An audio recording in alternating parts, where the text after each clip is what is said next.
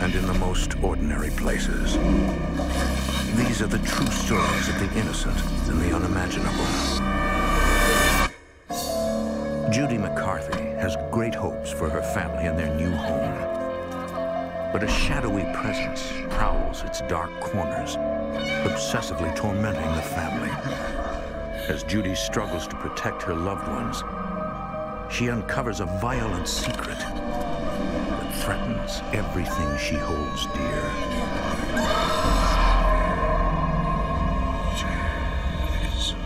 Between the world we see and the things we fear, there are doors. When they are opened, nightmares become reality.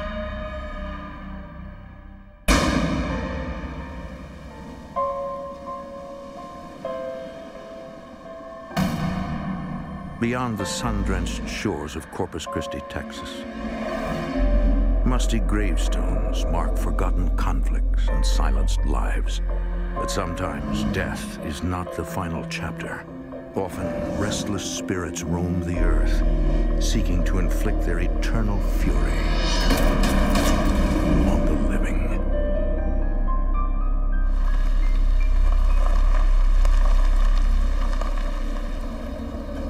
In early 2005, the McCarthy family moves from a small apartment in Corpus Christi, Texas, to a house nearby. Judy McCarthy is a stay-at-home mom whose first priority is her family. She is always compassionate and supportive of her 17-year-old daughter, Carissa, her husband, John, and her grown daughter, Lisa Lambert. Recently, Lisa was laid off from her job as a human resources recruiter. No longer able to support her son Jacob, she moved in with John and Judy. Lisa and Jacob were having to sleep on the floor, and we had to get a bigger place because a two-bedroom with one bath just was not big enough.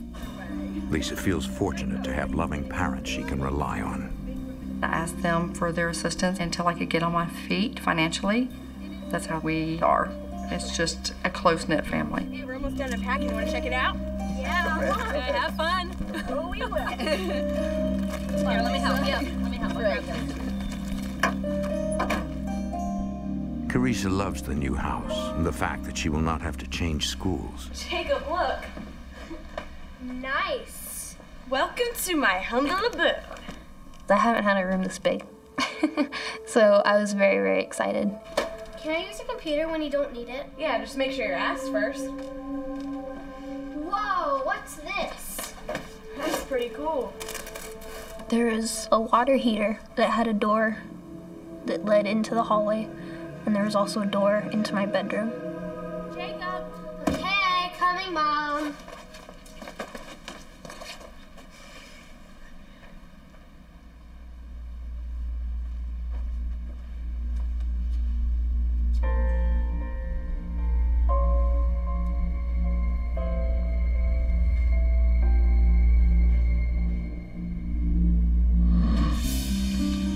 Lisa, honey, look at this.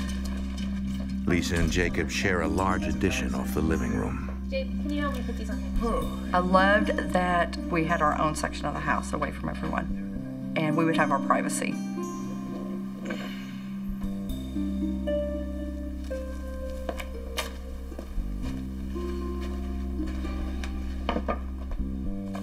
As they finish settling in, a treasured item evokes the memory of Judy's late father. I did everything with my dad, and whenever we'd go fishing, that is the lantern we used. It was my pride and joy. What do you think? Looks good. I think so too. Anything else? It was very special to her and special to all of us in that way. As weeks pass, the family quickly falls into a hectic routine. John's supervisory position as a diesel mechanic requires him to work long hours. I'll call you later. Oh, Jacob. Mm. Jacob, it is late. We're gonna be late for school, hon. We gotta go. When will you be back? I don't know, Mom. It really just depends on the job, hon. We'll see. Okay. Have a good day, okay? Okay. Good luck. Thank you.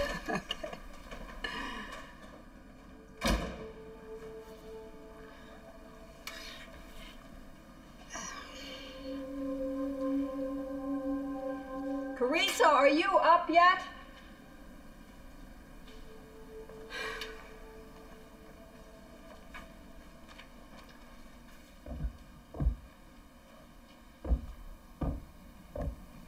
I heard footsteps, and it was a hard step, like a man walking with boots on. John? Did you forget something?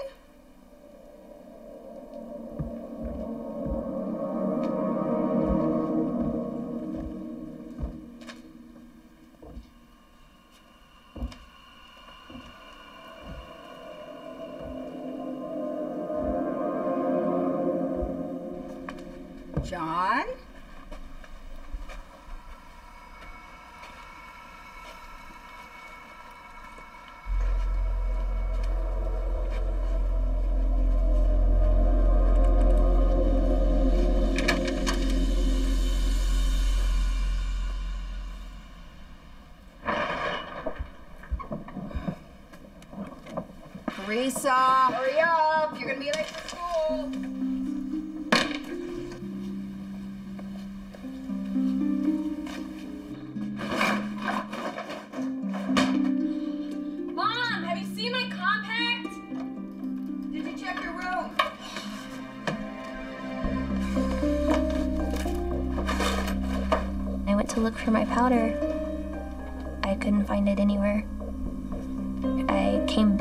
the bathroom and it was right there, just as if it was purposely placed for me to see. Thanks, Mom. Where'd you find it? I didn't. I thought that it was Jacob being a prankster moving around my compact. But Jacob went to school like 20 minutes ago.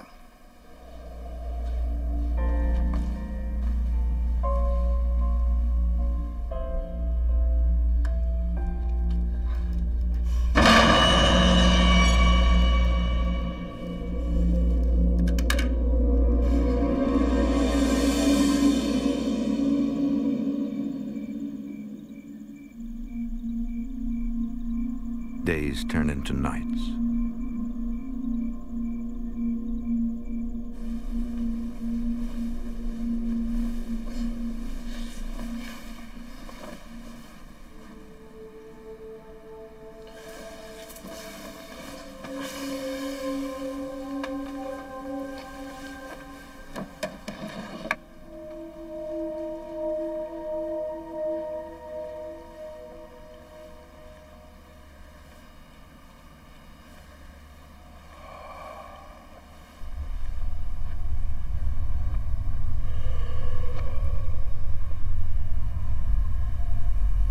Started to feel a little uneasy.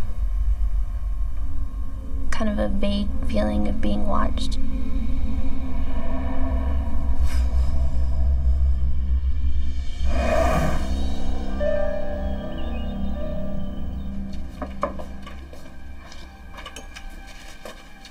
Oh, good morning. Well, you're running kind of late, sleepyhead. I couldn't sleep. Are you coming down with something? No? Is everything going all right at school? What is with the third degree? I'm fine. Everything is fine. Gosh!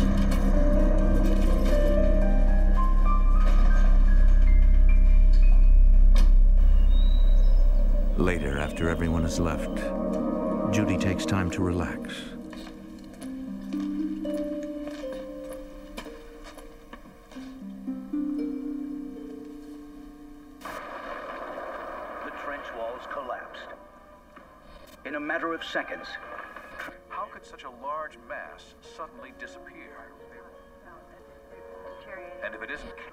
Come together to form dangerous gangs.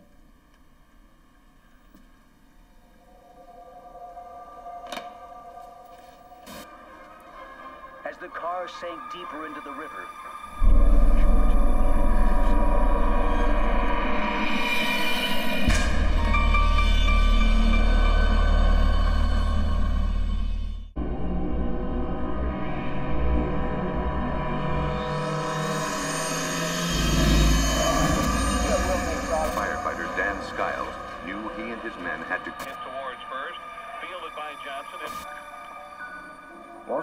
investigators that during their Los Angeles business,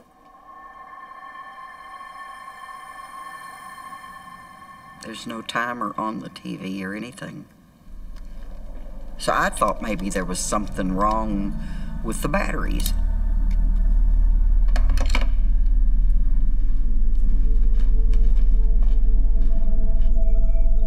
Weeks pass. Eerie sounds continue to echo through the house. Judy finds comfort in having her family around, Two jacks. especially on nights when John works late. Okay, you got me.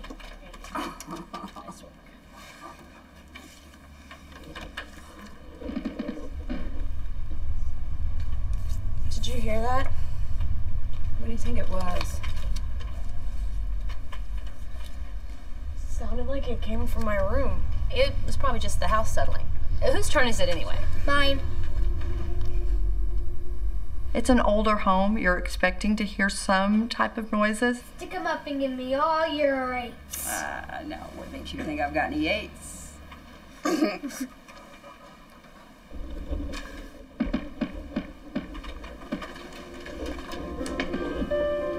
You had to have heard that.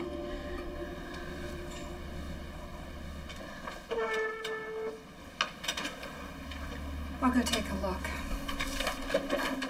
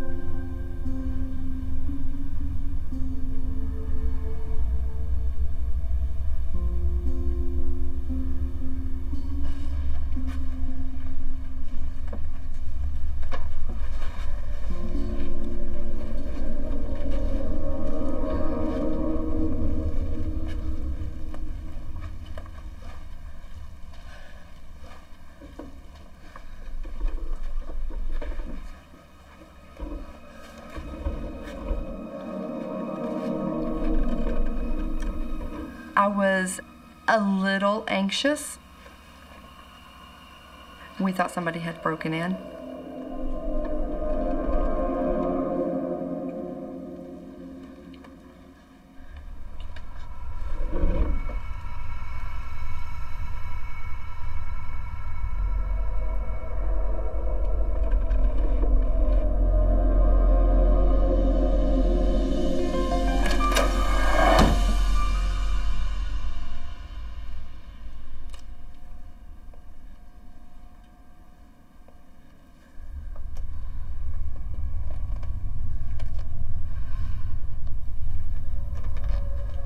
I didn't know what was in there. I didn't know what was going to happen. It's freezing in here. I got goosebumps. The hair stood up. My closet. My heart kind of dropped when I saw that my closet door was actually open. I always kept my closet door shut.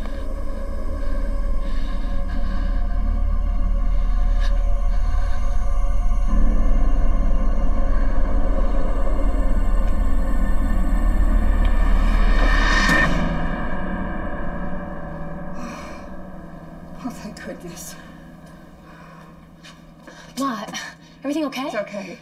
False alarm. I know I left my closet closed. Honey. Oh, Carissa. No, I always shut the door.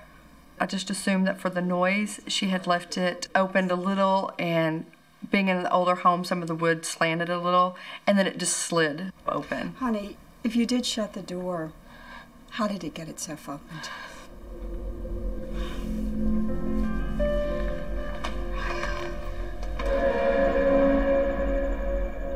Weeks pass without incident. Oh, I hate fractions. It's not that hard. It's like the sizes on wrenches. Guess what? We are celebrating. I got a job as a corporate trainer. I was ecstatic. It wasn't just a job for me, it was going to be my career. You rock, Mom. My son was thrilled just because eventually we were going to be on our own. Well, let's party. Come on, we'll celebrate. Come on. Pop the cork on that thing. A few hours later, after Jacob and John have gone to bed, Body temperature began to drop. Blood pressure and pulse decreased sharply, leaving them confused and disoriented. Jacob, get back to bed, young man. I'm thinking somebody's playing a trick on me. And we don't have another remote. Mom, what's wrong with the TV? George managed to It, it just like it just came on. Ah, Thought it was Jacob. it's been doing this in the mornings. I tried changing the batteries, but it hasn't stopped it apparently. It just turns on and flips channels. Knowing that somebody else in the house was experiencing similar things was very comforting. I'm starting to think the house is haunted. Oh. You know, I, I think it might be Grandpa. He was always such a practical joker. Maybe it's I thought it was my dad checking in the house to make sure that everybody was okay. But why would he start this now? He's been gone for years. Lisa has her doubts. She just wanted to have him in the house with us so much that she wanted to grasp onto that possibility that it's him. You know, I, I've got a huge day tomorrow. I think I'm turning in. Me too. Right, Carissa. The following weekend, Judy decides to treat the kids to a day at the mall. 20 minutes in the toy store today, okay? Okay. And Lisa, why don't you come with us? The break will do you good. Yeah, Mom, take a break. You know, guys, thanks for the invite. I really need to stay and fill out this paperwork. You go. I can't find my other earring. I put it on my dresser a few minutes ago, and now the other one's gone. So wear another pair. My stuff keeps disappearing, and this never happened before we moved here. Jacob, are you playing a joke on Carissa? No, and I didn't touch her stuff. Jacob, look at me in the eyes. Are you lying to me? You think I'm lying, and I'm not going to the mall with you. Fine by me. Carissa's personality started changing. Little things would set her off, and she was never like that before.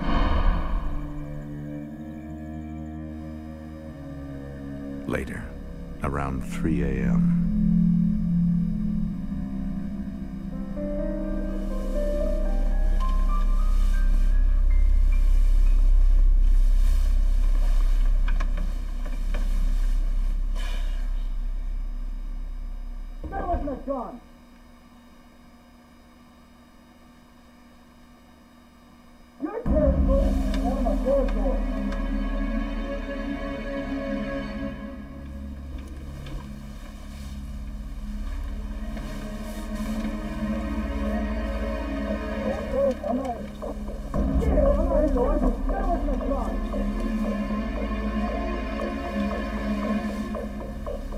wasn't imagining this. It was within a foot of that window, if not closer.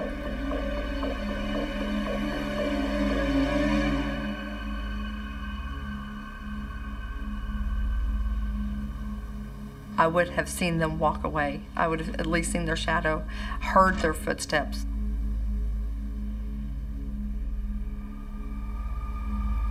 I could smell smoke, like there was something burning, maybe in the living room or in the kitchen.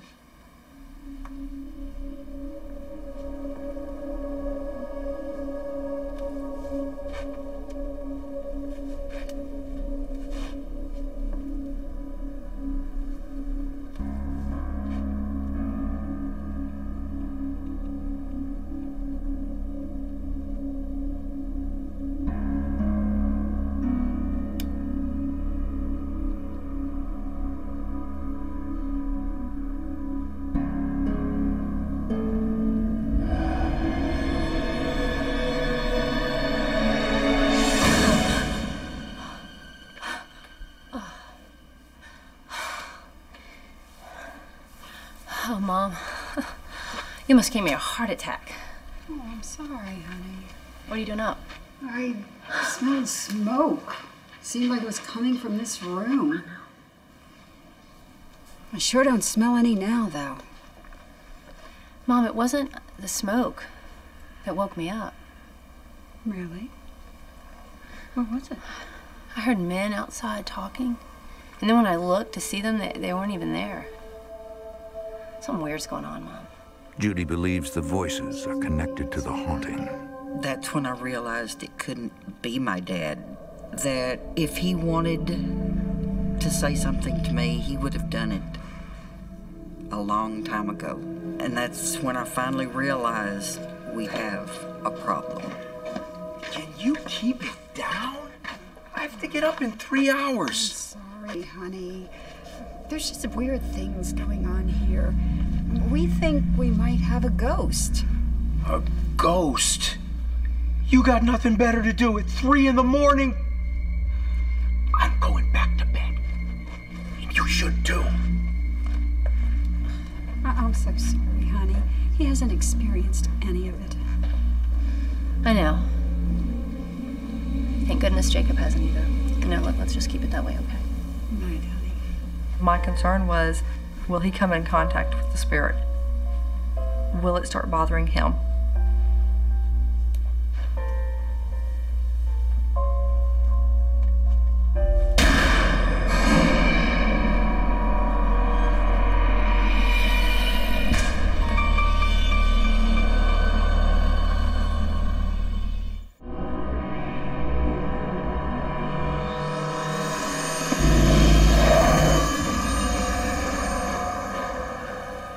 Nothing unusual happens for several days, and Lisa's concerns fade. Carissa, however, continues to sense an unseen presence watching her Nice. Nice buns. All right. because the feeling is most intense in her room. She has suffered a string of restless nights. Oh, and the pitcher retires another batter. And the pitcher retires too. Come on. Play a little more. I'm poop, Squirt. Please. Jake, I said no. Night after night, not being able to go to sleep. I was definitely tired all the time. The sleepless nights stretch into weeks. Hoping to calm her uneasiness, Carissa leaves a light on each night.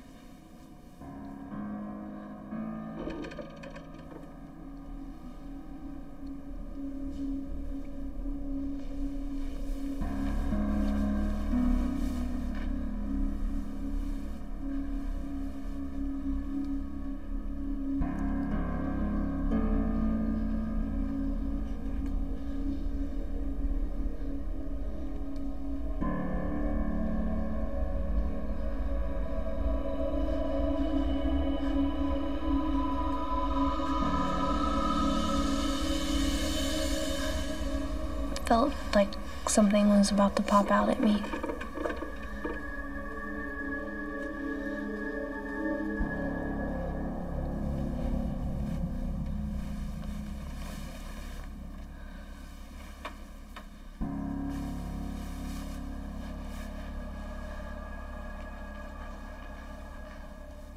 She tries to convince herself that it's just her imagination.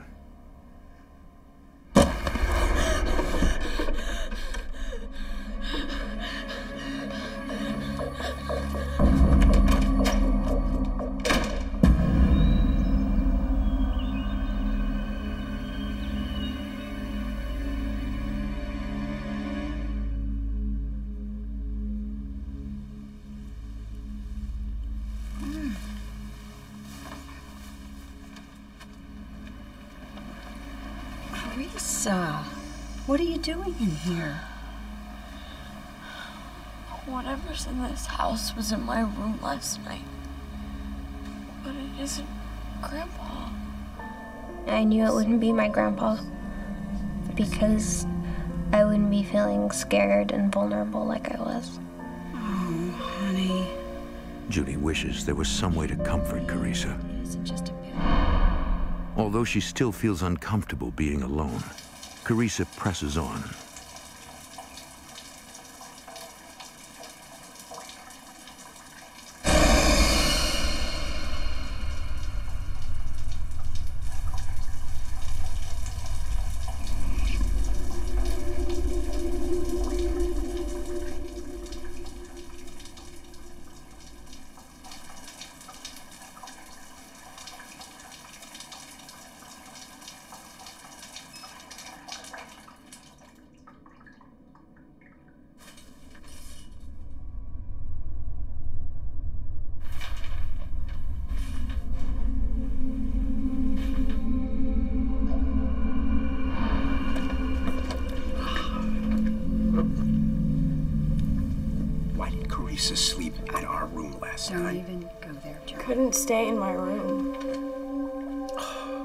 Why?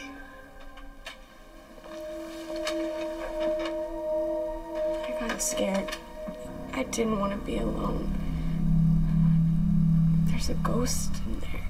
Oh, not this ghost business again. You're 17. You're too old to be sleeping in your parents' room. My dad never wanted to believe in the supernatural. Crying won't help. He, he thought that I was being very irrational.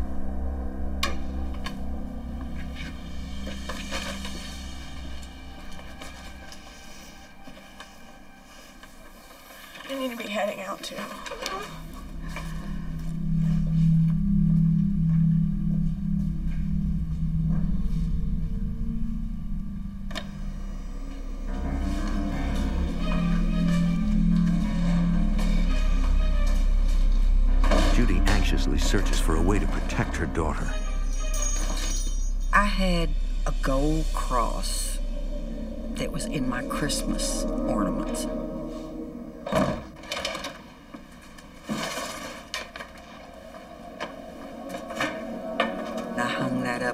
Up over her door so that maybe it would keep stuff out of her room.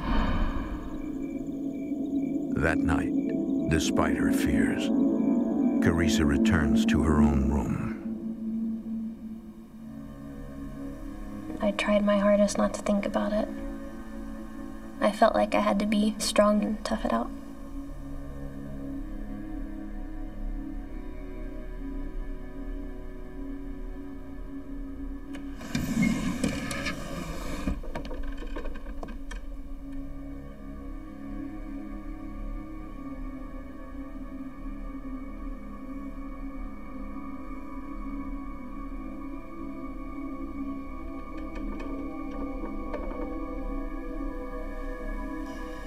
Too scared to look or move or do anything. I just laid there frozen.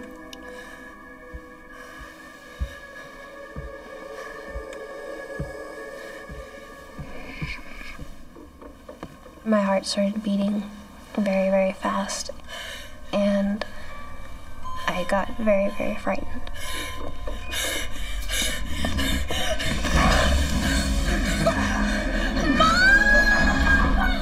Could not move my body. And I just felt like there was a huge weight on me.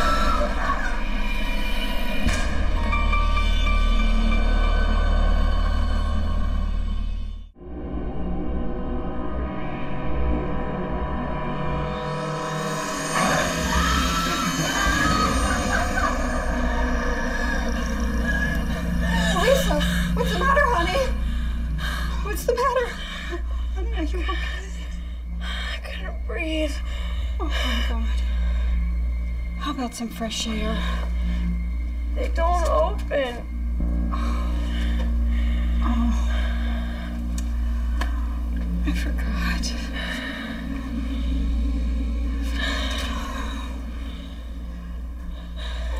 Mom, can I sleep in your room? There's something in here. I was scared for her. I did not want her going back in that room. The following morning, Judy seeks some assurance that Carissa will not suffer lingering effects from the ghostly attack. I couldn't breathe. I just kept gasping and gasping. Sounds like panic attacks. Have you been depressed lately? No. She's having a lot of trouble sleeping lately. And we think we have a ghost in the house. Carissa, I think something else is bothering you. Although Carissa is fine, Judy's fears for her safety persist. Come on, Carissa, let's go. I was thinking, how can I protect her against something I can't even see? Judy struggles to find some way to keep her daughter safe. I think that's it. It's all up and running again. Oh, wonderful. We'll have heat again. You know, I was wondering what would happen if we needed to get out of the lease early. Why? Well, we think there might be a ghost here. If you try to break that lease, you owe me the rest of the year. And if you don't pay up, I'll sue. Whoa. Nobody's trying to break the lease. I think you need to talk to your wife. I wanted out of the house. I didn't want any part of it. I wanted to move. We're not gonna move just because you think there's ghosts in here. John, you're away at work all day long. You come home and sleep. You're never around to see what's happening around here. He told me that it was just our imagination, that we were being stupid and silly and everything. A few days later, Carissa stays home from school to recover from a bad cold. Mom?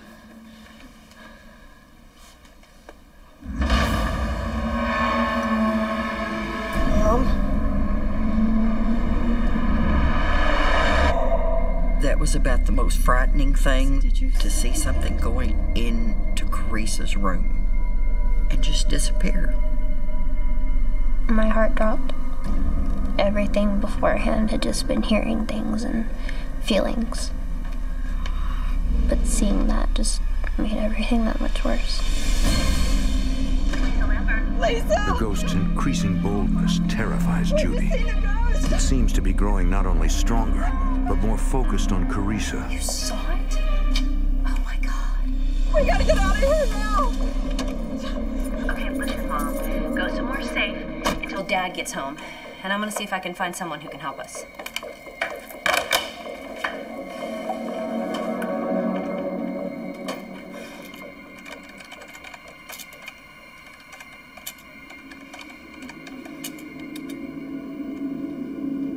Lisa finds Margaret Prescott's paranormal research team and arranges for them to come out as soon as possible.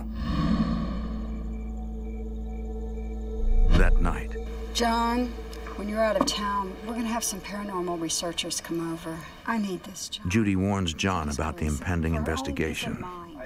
I finally made him realize I really needed to find out what it was that was in this house. Soon after, while John is out of town and Jacob is staying at a friend's house, paranormal investigator Margaret Prescott and her son, technical expert Monty Prescott, meet with the family. The goal of my group is to help people to understand what they're experiencing, what they're going through. All right, uh, we'll be setting up the cameras throughout the house, but mostly where you've had activity, Like my room? especially your room. Where my heart went out to this family was seeing the fear in her eyes, like something was coming after her. Where do you want us to be? We're gonna need everyone to leave the house. That way we can be sure that the activity we pick up is paranormal and not human. Monty will be in the garage. He's setting up a viewing station, so he won't disturb the house either.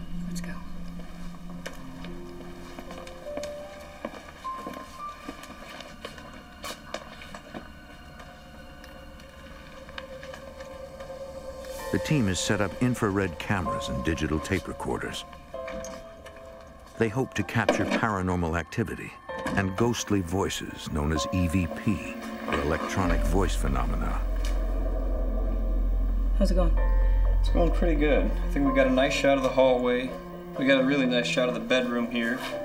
That's where most of our activity's been happening.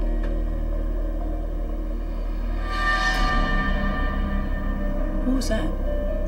Something just hit the camera.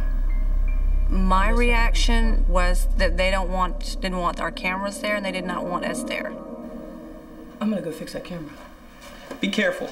I will. Call me if there's a problem.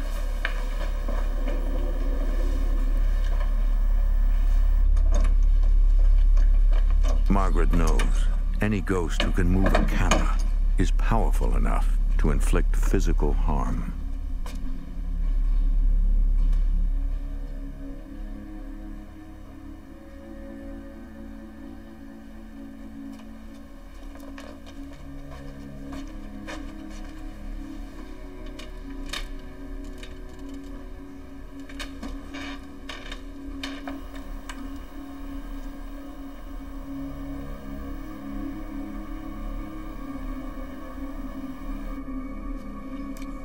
Just had this feeling that there was something inside this closet, and it just wasn't very nice. She tries to provoke the ghost in order to elicit a response that can be recorded as EVP. Prove to me you're really here. I tried to get from them why are they here? Why are they tormenting this family? Move something. Come on. Show yourself to me.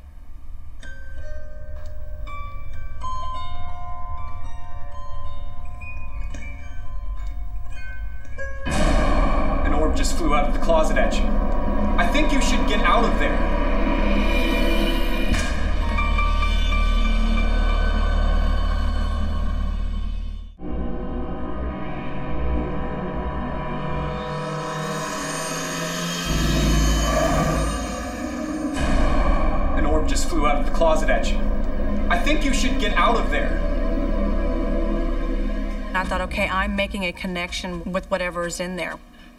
Who are you? What are you doing in this house? Answer me.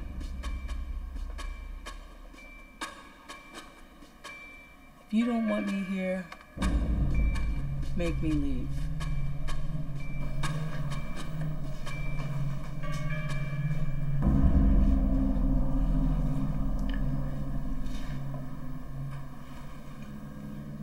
What's happening? Strange feeling that traveled up my legs and just started traveling up to my arms. Get out of there! It's like the air is just being sucked out. And it was really getting very hard to breathe.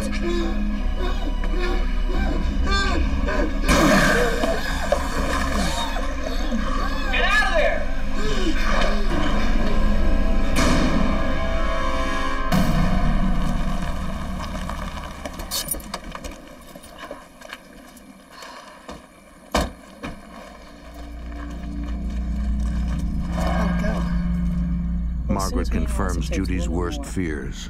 The ghost is powerful and violent. You're gonna need a cleansing.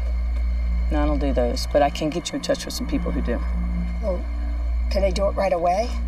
I- I've got to protect my family, especially Carissa. I was so scared for her. This was her room, and something was invading it. It'll be about a week or more. That long? Well, you can try to cleanse the house yourself. Judy is willing to accept any risk to protect her family. Go to each room alone with a Bible, and you order the spirits to go away. Thank you. It'll be okay, okay? We'll keep in touch. All right. All right.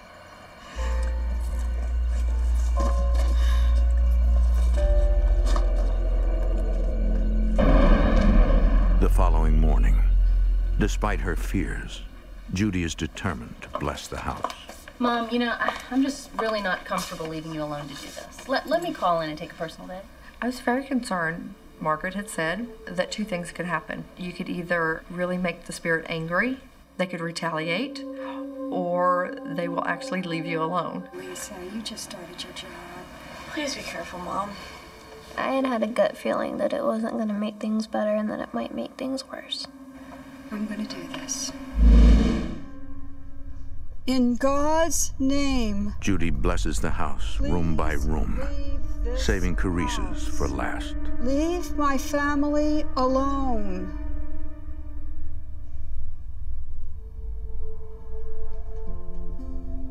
In God's name, please leave this house. Leave us alone.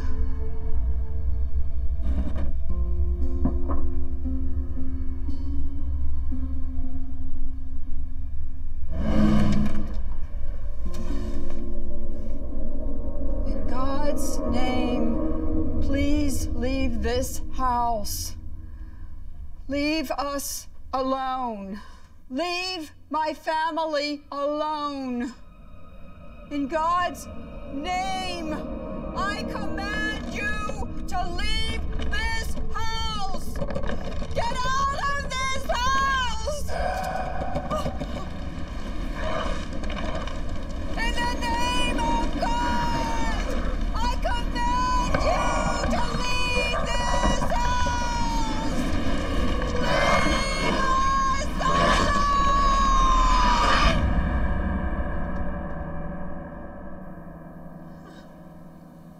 Felt like there was someone standing right beside me. I didn't know what was going to happen, and I couldn't breathe. The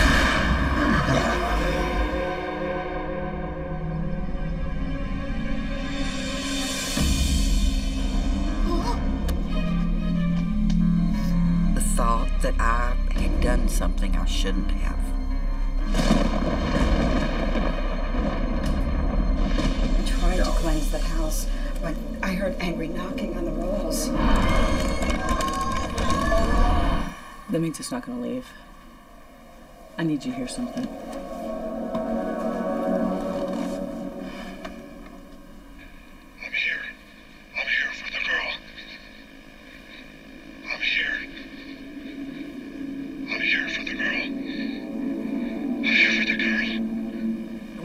Confirmation of what this entity wants. And it was very frightening. I'm here. I'm here for the girl.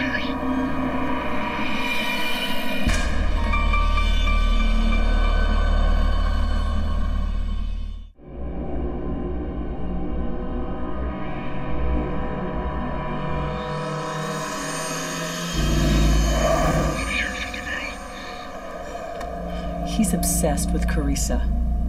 He wants her. Her rejection is making him so angry. She might have reminded him of someone he once cared for a great deal, and he did not want to let her go. knowing that is your flesh and blood, that whatever this thing is wants. What am I gonna do? How am I gonna protect her? There was a murder in the house. Margaret's research has uncovered a drug related murder that occurred in the house 20 years earlier.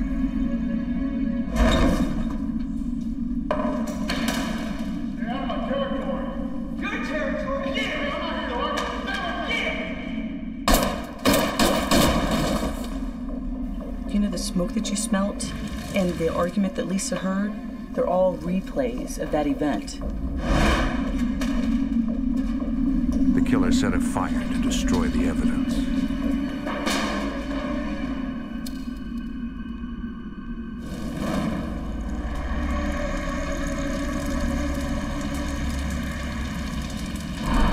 Get Carissa out of that house as soon as possible. The next step is that this girl is going to get harmed in some way. It's building up more and more strength because his family's afraid of it. Oh my God, Carissa is due home from softball practice any minute now. I can't have her in that house alone.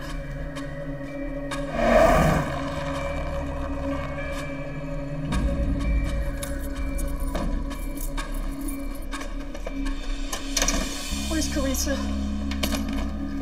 Still at softball practice. Oh, thank God. Why? John, we have to move. What? The ghost is obsessed with Carissa. Margaret caught him on tape saying he wanted the girl. John, we have to move. I was determined nothing was going to get her.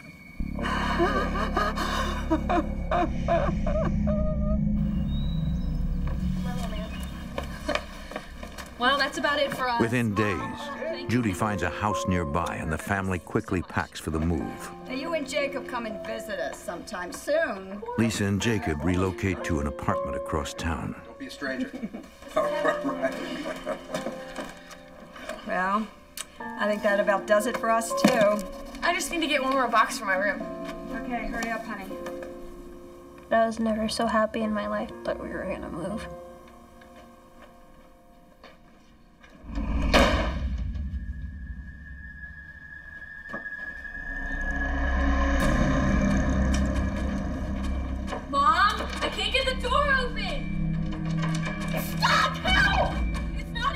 Or latched. Get me out of here! Help! Get away from the door! Stand back! Oh. Can you climb out a window? No, it's nailed shut. Remember? I'm gonna crawl through the furnace door.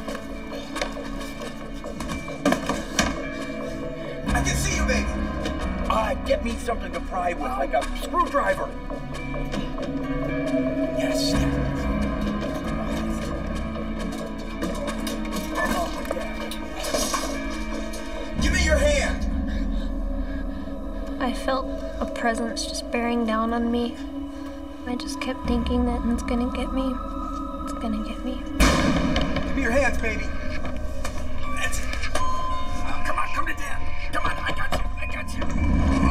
Something's pulling me. It's trying to keep me in the room. Come on, baby. I got you. I got you. It felt like something was pulling her the other way, towards her closet.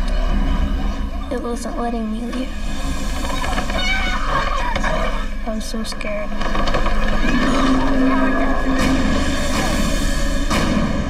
Oh, John, she's freezing.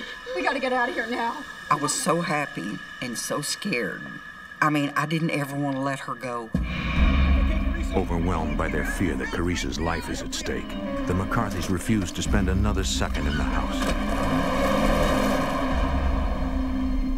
It was like the weight of the world had been taken off my shoulders, knowing that nobody in my family would have to put up with anything like that again.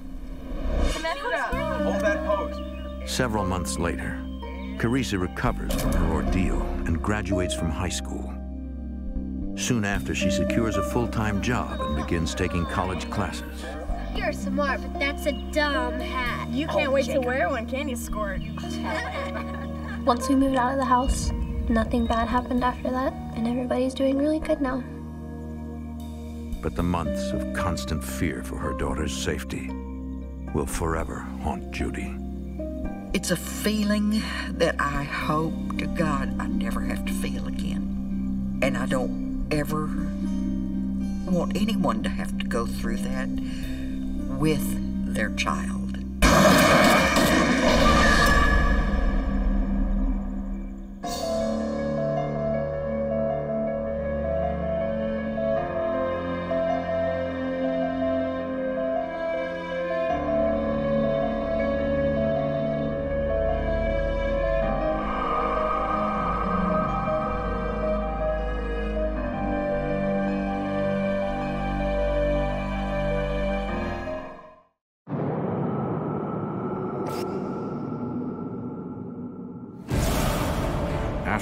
Wife experiences tragic loss, she finds light in the darkness. I thought it just has to be my husband. Mike, is that you? Letting me know that he's still here. Someone or something is here, and it has a message. The entity wants you either gone or wants you dead. I don't think I'll ever be the same again. In America, there is real evil. It lurks in the darkest shadows and in our most ordinary towns. Between the worlds we see Someone's in my room. and the things we fear, there are doors. When they are opened, nightmares become reality.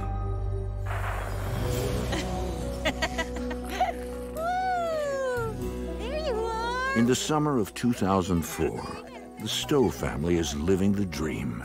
A perfect moment frozen in time. Come on, let's play. We had a very idyllic life. Your typical suburbia, you know, mom stays at home and raises the kids. Honey, come here. I feel her kicking. Oh. We got married in 1999. Our son was born in 2002. We were expecting our daughter. You ready to meet your little sister? Yeah. Yeah. Yeah? My husband was a very easygoing man. He was a good dad. He was a good husband. We got along great. I used to wonder, how did I get so lucky?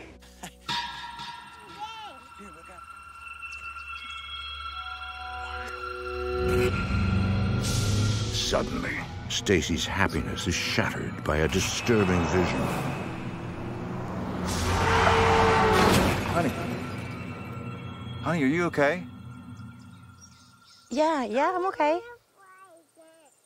I didn't tell him, but what I saw was our car in an accident. All right. Oh, hold on. Have a seat. Oh, it's work. My husband had just started a new job. Hey, this is Mike. He was an IT manager and he loved computers. All right, I'll be right in. And I've got to go. Server's down. I'll be quick. I'll pick up dinner soon after cook, okay? Okay. Mwah. Wait. Are you sure you have to go? Yeah, they can't do this without me.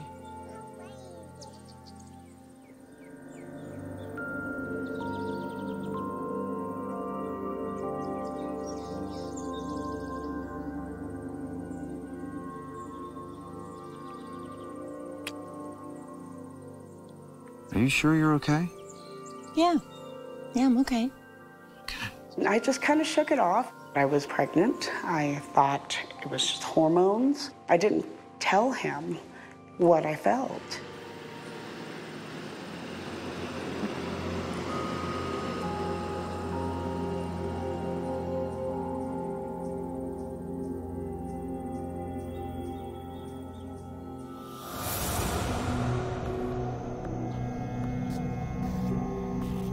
Time stands still for Stacy, who can't seem to shake the eerie vision.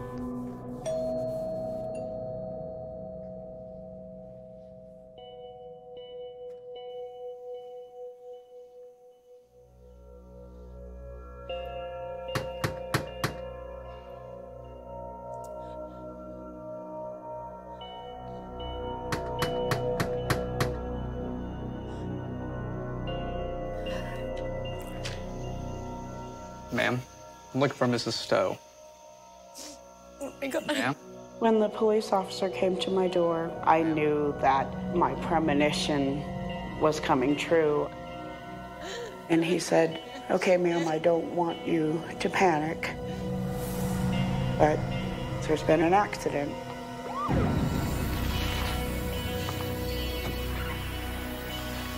Sir! Sir, can you hear me? And then he goes, I'm sorry, he died. Sorry. And I started saying, I can't do this, I can't do this, I can't do this alone.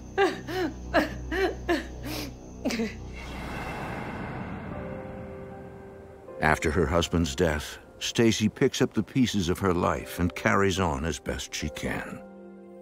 A lot of widows that go through something like this, they cannot stand to stay in the house. I, on the other hand, I could not leave. This is our home. My husband and I built this home. He's here. I can't leave.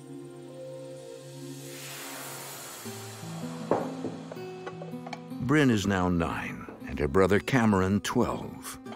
Today is a special day. Stacy and her late husband's wedding anniversary. What are you doing? I'm setting a place for Dad. I never got to meet my dad because while I was in my mom's stomach, that's when he died.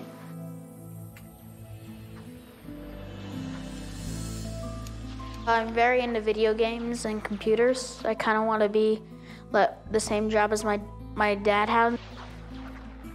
Cameron, put your game away. Put your game away. I'm almost done with this level. It's time to eat. You can play later.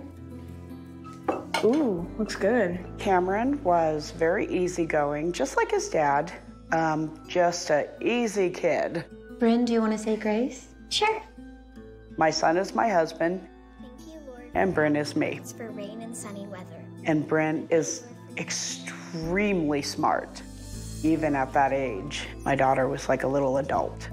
Thank you, Lord, for this, our food, and that we're here together. Amen. Amen. It was a tough thing to cope with, but as a family, after my husband died, I tried to keep things as normal as possible for them. This looks so good.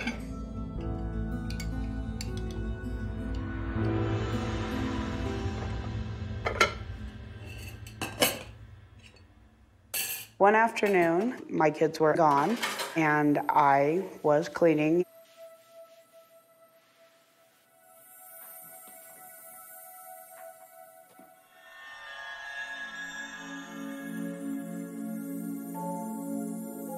I was like, where did this come from? What is this? The teddy bear was holding a heart, and inside the heart was an orange stone. And it was like a light bulb went off in my head, and I went, oh my gosh, that's my husband's birthstone. Mike, is that you? I thought he's just letting me know that he's never really actually gone anywhere. He's still here.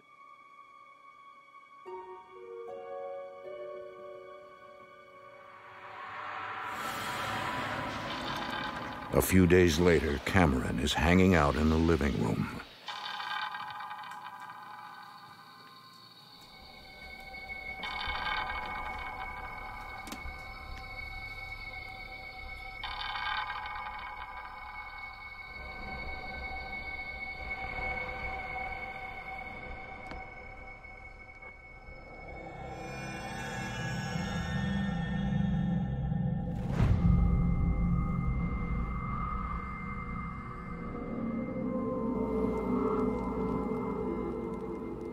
Started feeling really hot and I looked over and saw the fireplace was on.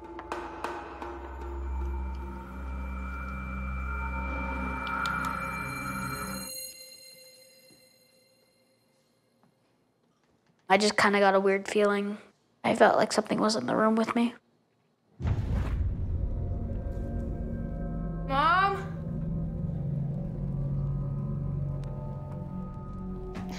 Something's wrong with the fireplace.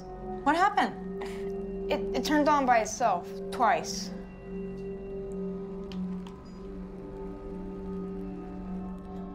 Well, I seem to be working fine now.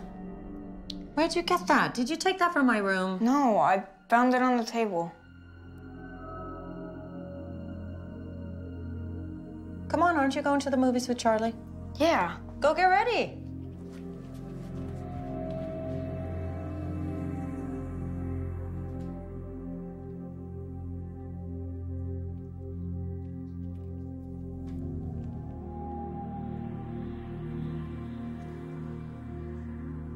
My thing was, oh, it's my husband, he's playing a joke on us.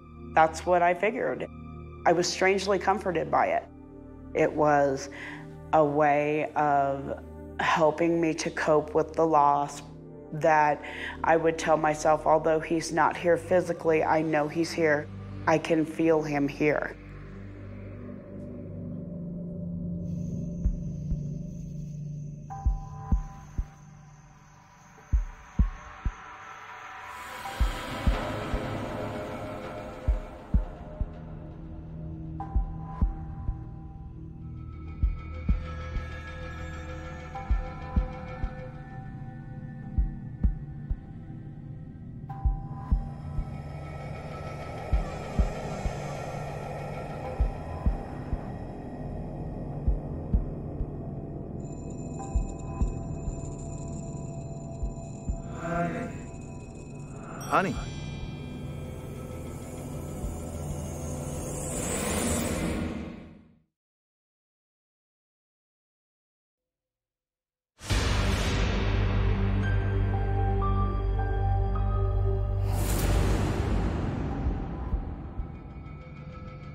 Stacy Stowe has been feeling a presence in her home.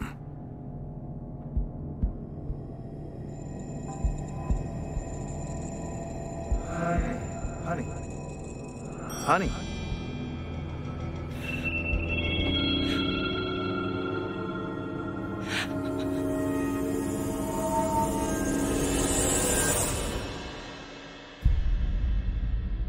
When I got the courage to turn around, I saw what looked like an indentation on the bed.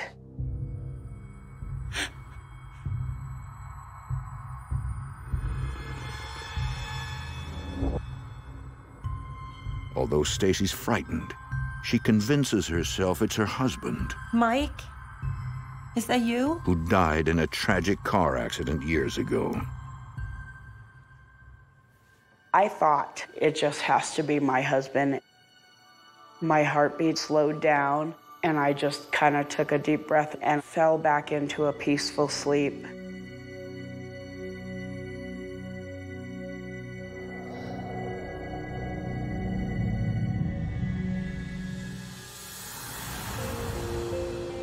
So far, Stacy is the only one who has sensed the spirit of Mike in the house. Their two children, Cameron and Bryn, have not.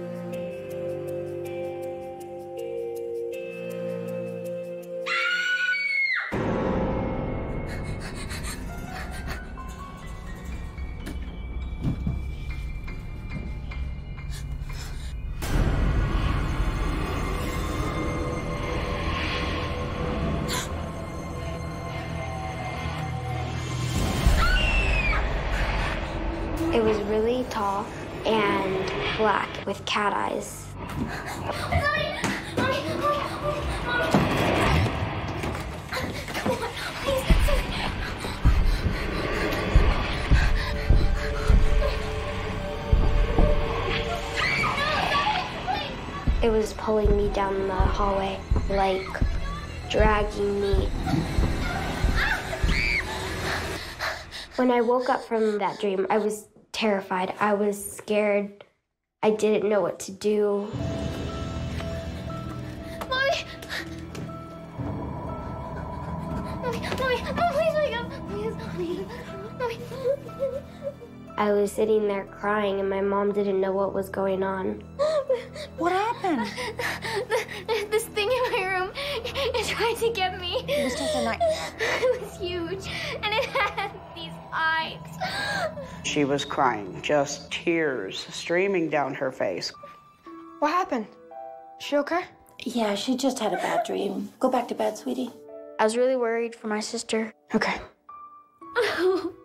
My mom just said that everything was fine. It's just nightmares and nothing else. You can stay with me. Come here. I'm so scared. At the time, I thought, well, all kids have nightmares and they go through nightmare stages. I thought, you know, that it was normal and it was okay and everything would be fine. It's gonna be okay.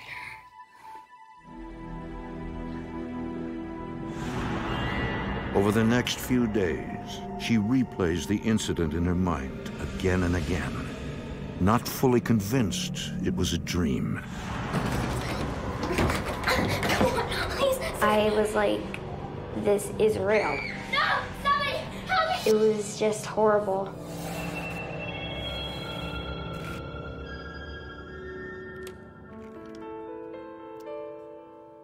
I was in my room and all of a sudden it was like something was in there.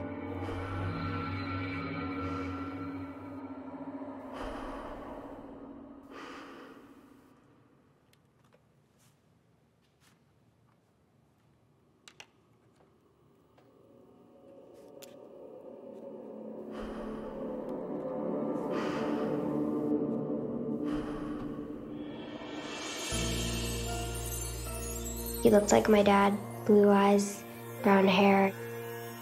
Daddy? It's me, honey. I've been watching you.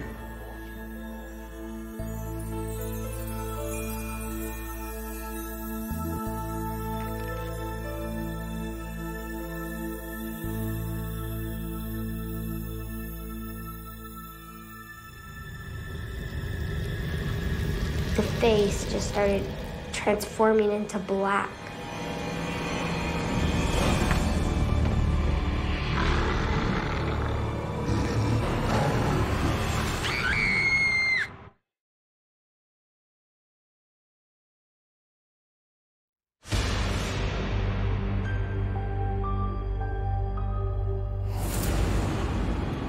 Nine-year-old Bryn Stowe once again sees an evil monster.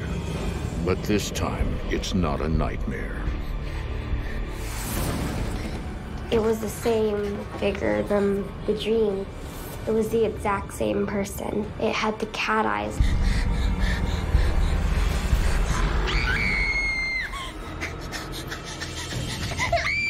Bryn, Bryn, down. She was so terrified. It was unlike anything that I had ever seen or heard her do. Calm down, honey, honey. It's mom. Calm down. Calm down. What's going on? It's in there. There's something in my room. There's something in your room. Yes, there's something in there. Okay.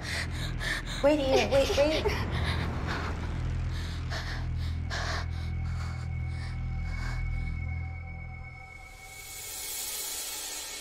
Do you see it?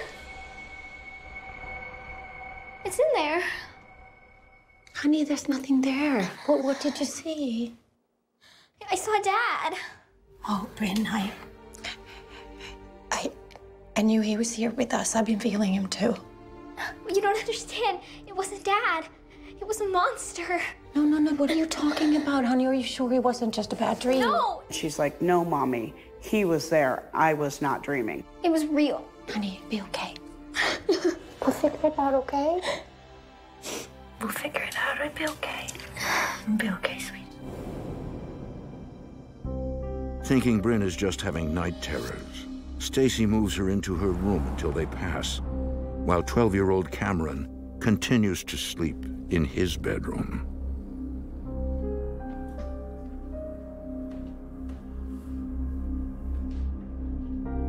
I went downstairs to get a snack.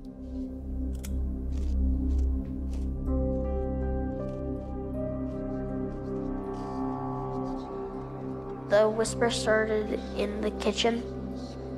I couldn't tell where they were coming from or what they were saying. I looked around, I didn't see anything.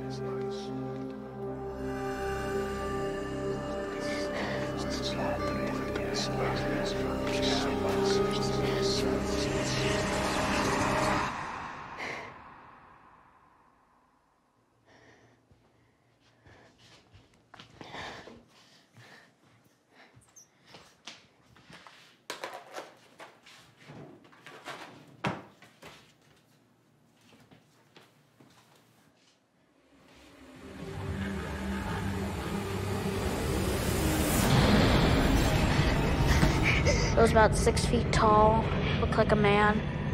It looked like it had a face, but I couldn't make it out. I could only see its eyes. It was probably the scariest thing I've seen in my life.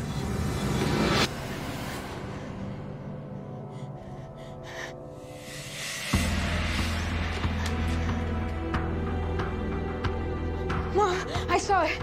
It was here. He was shaking, he was trembling, and his face was just drained of color. His eyes were just huge. My son is not a child that is easily shaken, but this definitely shook him. He was very afraid. I've never seen that kind of fear. What happened? I saw this dark thing. It, it, it was it was like a shadow and it, it had these glowing eyes. It just hit me. Wow, now my son is describing the same thing that my daughter is describing. Okay. It's okay. It's gonna be okay. It's gonna be okay. Can I sleep in your room tonight? Of course, Lydia, of course can. This is not right. This is not my husband. My husband would not be terrifying my children like this. This is something else. At that moment, I knew my house was haunted, and I knew I needed to get help.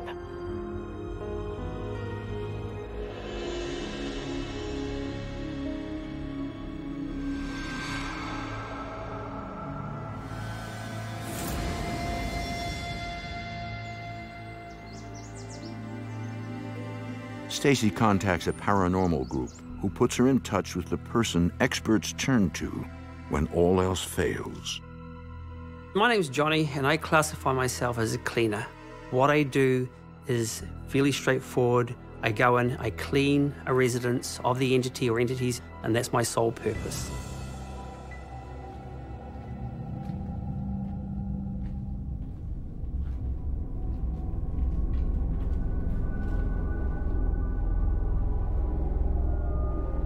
Were in danger.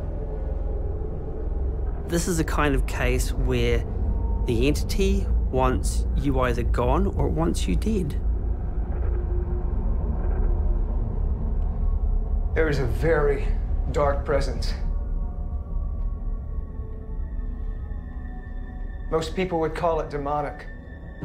Demonic? When I found out from Johnny that the big thing that had tried to get my daughter was demonic, I just wanted to get my kids and run.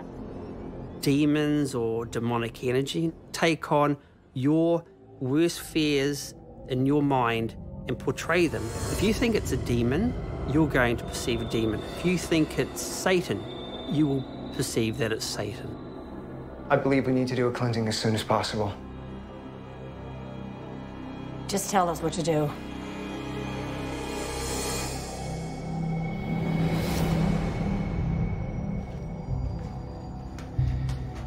I am at war with the entities in this home. It's a spiritual war, so you may not see anything, but know they are here.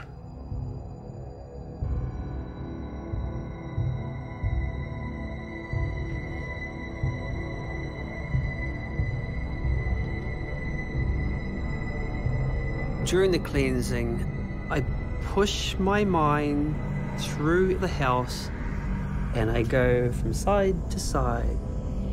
The dark entity that I'm after, all I see is a massive black blob. And sometimes it'll attack me.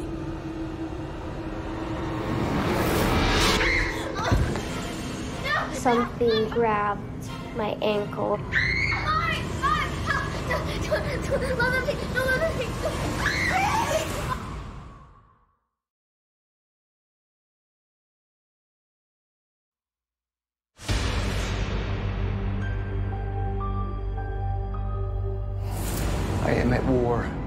Entities in this home. With the help of a paranormal expert, the Stowe family is waging war against a demonic entity haunting their home.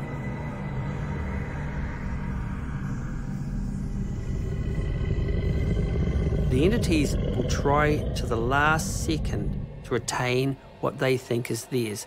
And in this case, they decided that they weren't going to let go.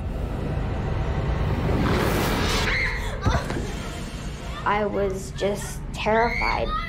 I was scared that a demon was trying to attach itself to me and take me with it. I felt just completely powerless. And I was screaming, No, no, you can't have her. Johnny jumps into action. You are not welcome here! I focus all my energy into one place and I go bam, and it's lights out. Be gone!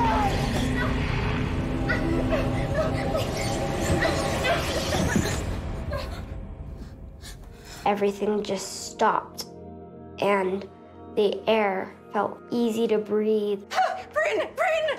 Bryn! Oh. oh, Is he gone? Is he gone? He's gone. You're safe now. I hugged my mom, and she was like this worked. It worked. It's gone. But Johnny warns Stacy that although they are safe now, the family could be vulnerable to new entities. Children attract negative energies because they're so open. They haven't built up um, the ability to fend things off.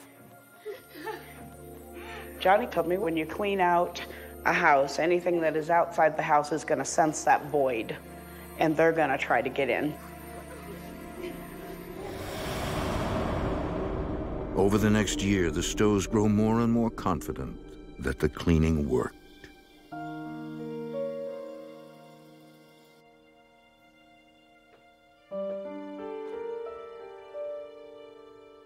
It felt good in the house. I felt safe and I felt like I was able to go anywhere I wanted in the house. So I was sleeping in my room. I was fine. Hey. You okay? I think so. If you want, you can still sleep in my room. Mom, I'm fine. Okay. I just knew my house was mine again, and it was just done. This new beginning was exactly what my family needed.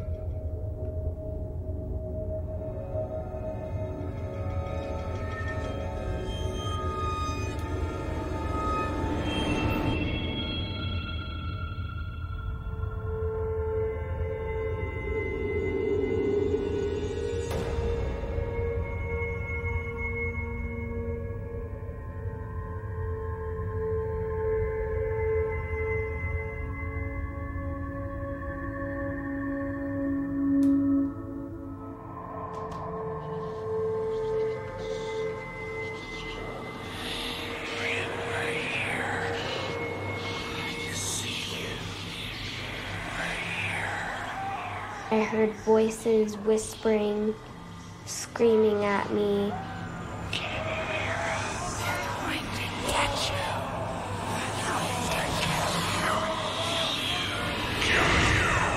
We're going to get you. We're going to kill you.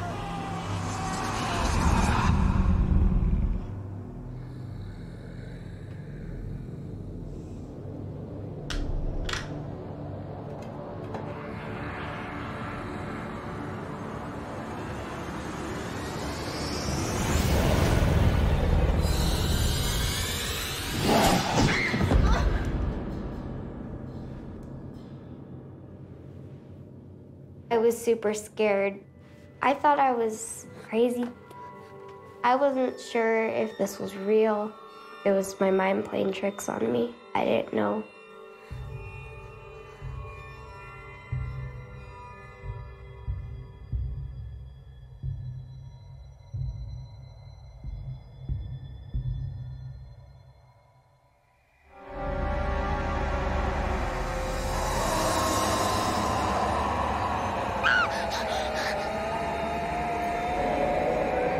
The faces I saw all around, they were trapped. They were banging, screaming, let us in, let us in, help us, help us.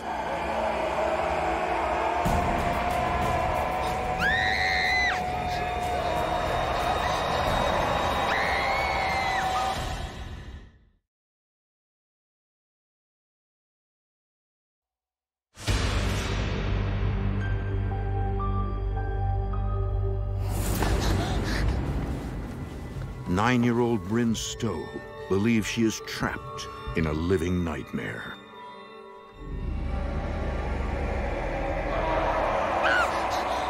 I wasn't sure if it was my mind playing tricks on me. I didn't know. I was terrified for my life.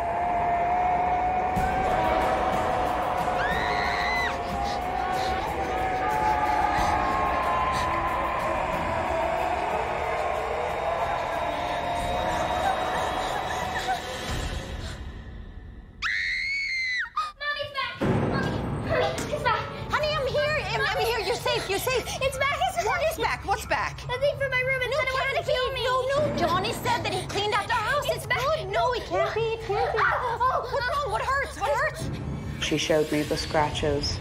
Three vertical, angry red scratches. They looked almost like you got scratched by a cat. I was trying not to lose it in front of her. I was trying to be calm, but my heart, it was racing. Um, let's go clean it up. Come on, come on. I was at my wit's end. It's back. And this time it has gotten physical. Mommy. It actually threatened her. It hurts. Instead of calling Johnny the cleaner, the family decides to try a new approach. Claudia, thank you so much for coming so quickly. Of we, we just don't know what to do. One minute. Stacy reaches out to a gifted clairvoyant. My name is Claudia Granger. Originally, I'm from Germany and I'm a psychic medium and a teacher and healer. When I tuned into the house, I felt immediately a very dark, extremely nasty presence.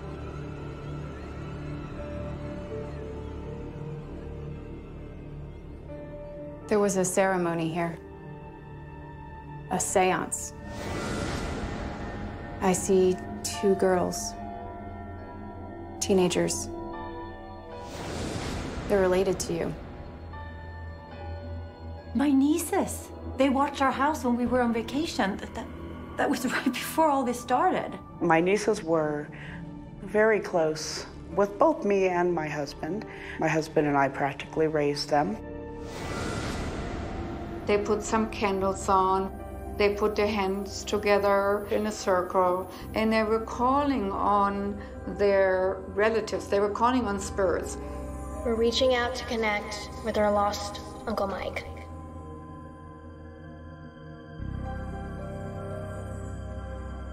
Are you there, Uncle Mike? Can you hear us? I believe they were trying to contact the spirit of your late husband. Oh, my husband? My God, what did they do? Uncle Mike, are you there? We really miss you.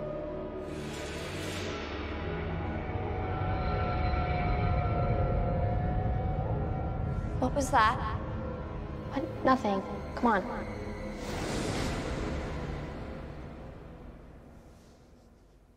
They've opened up a portal at your house. That's why all of the activity has started up again. A portal? It's like a doorway to the other world. If not properly closed, it can be very dangerous. It allows spirits and other entities to come through. I could see the portal directly in Bryn's bedroom. Please talk to us.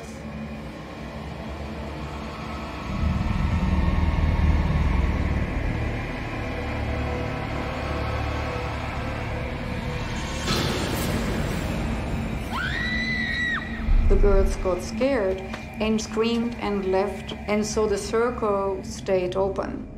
When a circle of energy is broken abruptly, it creates like a rift in existence, and that rift then can widen. In that moment, it was a free for all for the spirits, whoever was close by, to come and visit. That's when the negativity could really come in. I think that your family is in danger. We need to close this portal right away.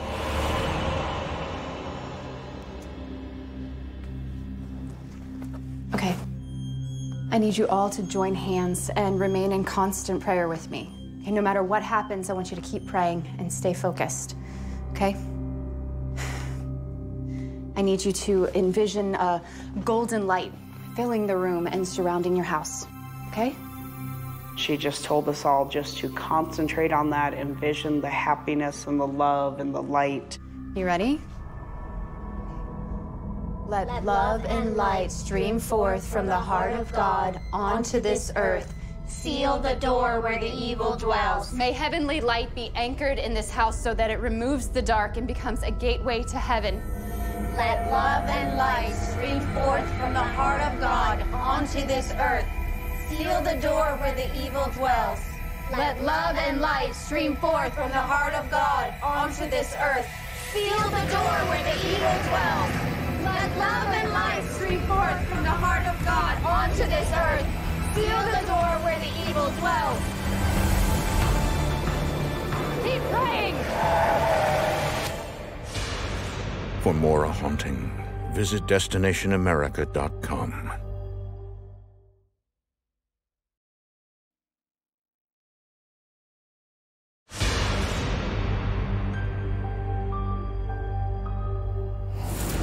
Love and light stream forth from the heart of God. The Stowe family is fighting to close a portal in their home with the help of psychic medium Claudia Granger. Stream forth from the heart of God onto this earth. Seal the door where the evil dwells. Let love and light stream forth from the heart of God onto this earth. Seal the door where the evil dwells. Let love and light stream forth from the heart of God onto this earth.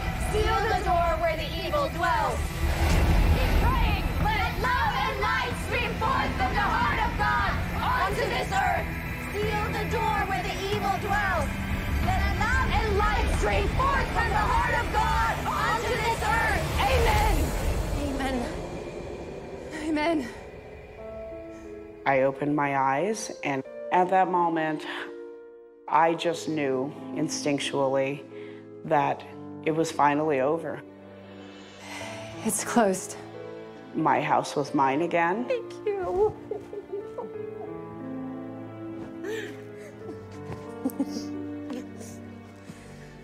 I felt like a giant weight had been lifted off my shoulders.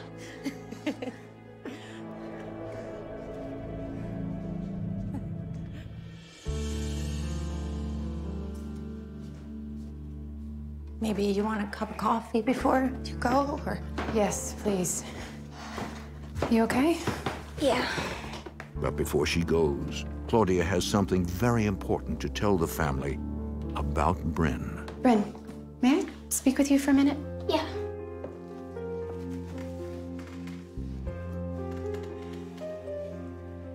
Bryn,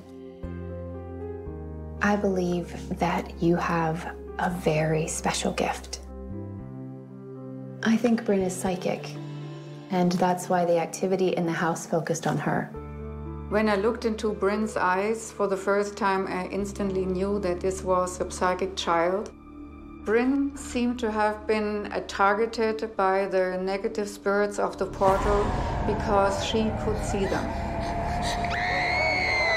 I kind of knew that there was sensitivity. I had a feeling that she had received the gift. I was thinking, this makes sense now. All the puzzle pieces are just coming together. I understand. Bryn said she saw her father.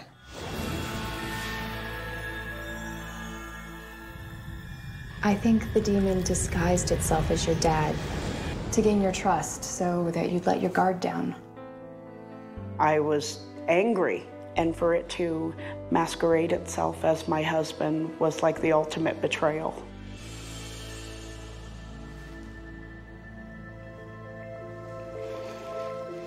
What do I do if it comes back? I can train you. You won't have to be afraid anymore. She felt like we needed some guidance on how to learn how to protect yourself. What kind of helped me a little was that Claudia told me, you know, I'm gonna help you, I'm gonna guide you through this. Everything's gonna be okay, I'm here.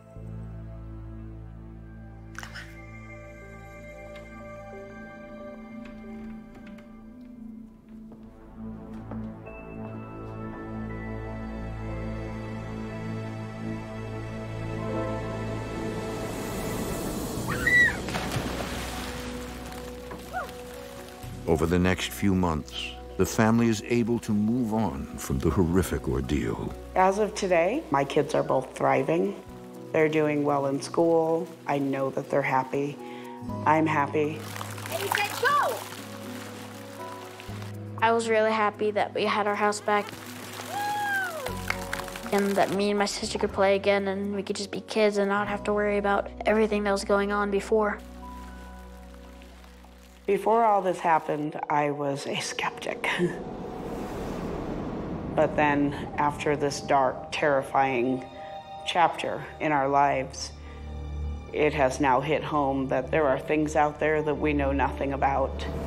There is no question in my mind. I believe very much that it is real. I don't think I'll ever be the same again. I think this has affected my life, and I'll never be able to, you know, change. I think I was given this gift to become confident, to help other people with things like demons in their house. Maybe she is going to do something that will turn this world on its ear. She's going to do something big.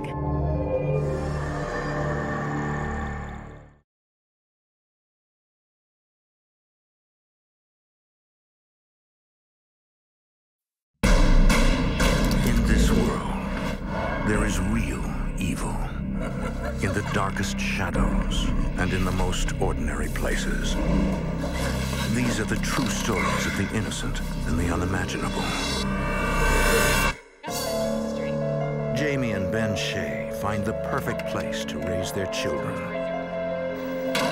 But eerie sounds and ghostly voices puncture the quiet country night.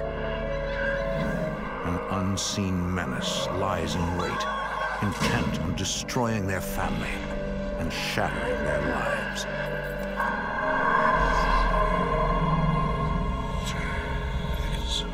Between the world we see and the things we fear, there are doors. When they are opened, nightmares become reality.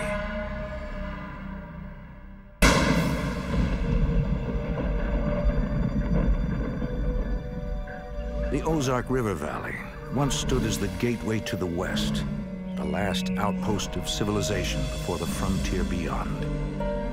But nestled amid this lush countryside lies a different kind of portal. A crossroads between life and death, where the mortal and the eternal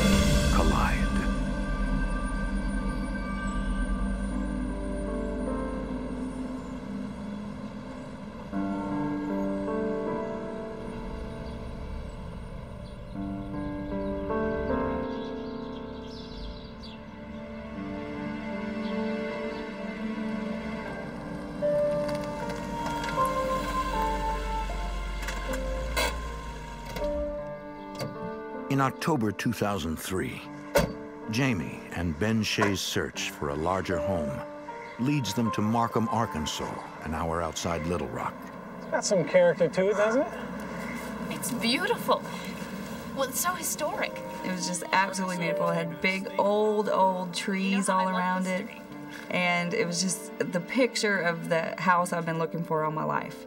Built in the late 1700s, the home is one of the oldest in the state. I'm kind of a history buff, so that definitely piqued my interest. Ben can already picture raising his three children there. I knew that my kids could run out there and, you know, just have a good time. I grew up that way, m- me running out and playing in the woods, and I definitely wanted that for my kids. Did the agent give you a key? The house is a short commute to Arbutus, where Jamie is a legal assistant. Ben is earning his degree while working nights as a nurse at a local factory. It was in between the two towns where my husband worked and where my husband went to school, so he could spend more time with the kids and not have to be traveling back and forth as much.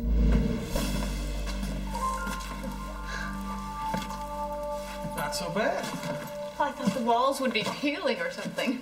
I know. It looks like everything's in pretty good shape. There was a lot of room. I could totally see how the kids would have plenty of room to play. I knew as soon as I saw it that we had to have that house. We need to make an offer on the place before anybody else sees it. Okay, maybe we should look at the rest of the house first.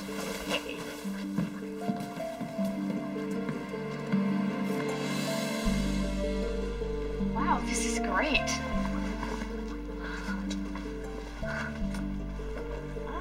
Ceilings don't have any water spots. The roof must be in great shape. It's almost too good to be true. I'll say.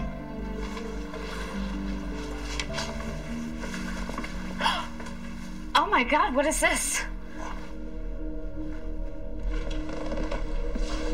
Uh, I wouldn't worry about it. The fireplace had all kinds of markings on it, like the name of this boy that had died, pentagrams.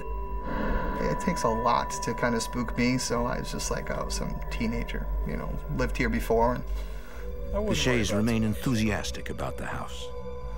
Looks like a nice fireplace. Shouldn't be boarded up anyway.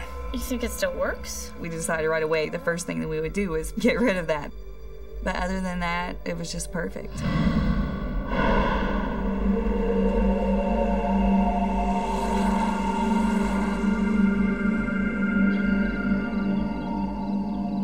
Within a few weeks, the family is all settled in. Wow, it's beautiful.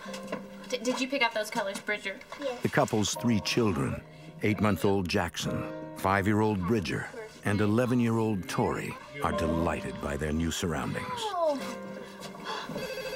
Oh, that's Taylor calling for me. Again? Did you get this many phone calls when you were her age? I am just glad that she's adjusting to her new school well. Give me one more.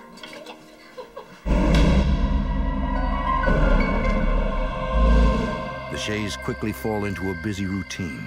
You guys need to hurry up because it's time to get to the bus, okay? Jamie hires an experienced sitter to watch the baby during the day. Hi. Hey. Uh, ben, this is Molly. Molly's gonna be here with Jackson until I get home, okay? Sounds terrific. Ben works all night, so he'll be asleep. Till about two, and then I'm off to class. Bye. Mm. Get some sleep, okay? Okay, um, call me if you need anything. Everything's gonna be great. Mhm. Bye, Jackson.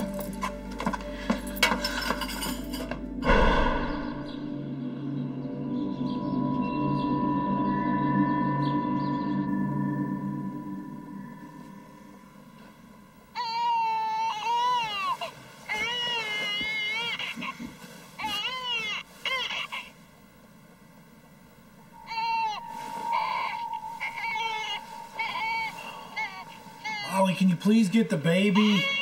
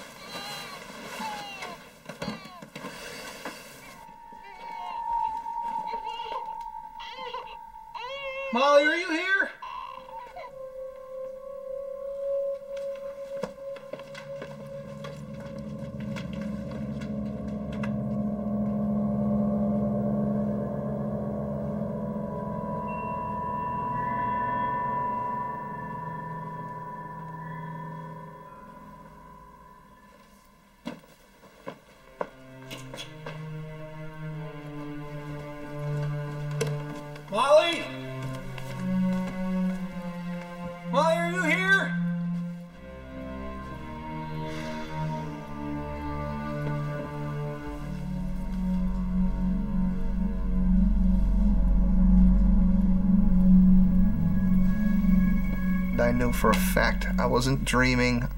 There was a baby crying on the monitor, and there was nobody home. It was a very creepy moment. Unsure what to make of it, Ben keeps the strange incident to himself. A few nights later, Ben trudges off to work, reminding himself that graduation is only a few months away.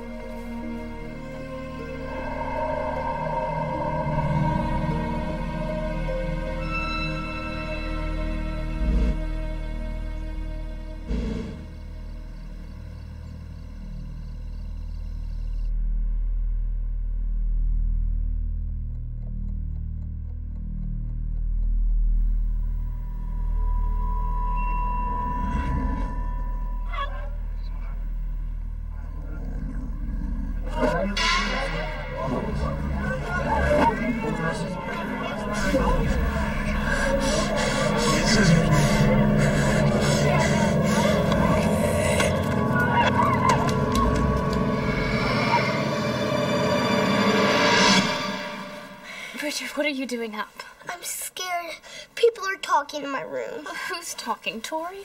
No, it's not Tori. It was just a bad dream, Bridget. Now go to sleep.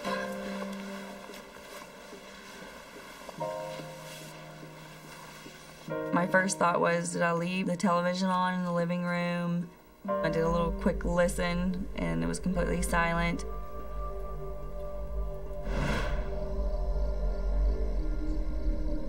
Later that night, around 3 a.m.,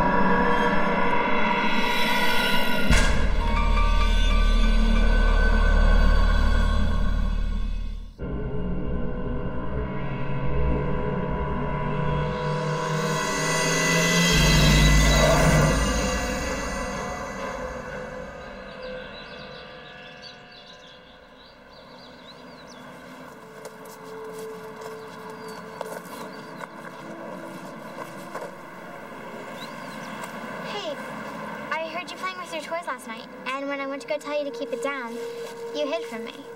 No, I didn't. I slept with Mommy last night. But before that, you were playing with your toys. I don't know what you're talking about. Why'd you go sleep with Mom? Come on, Bridger, tell me.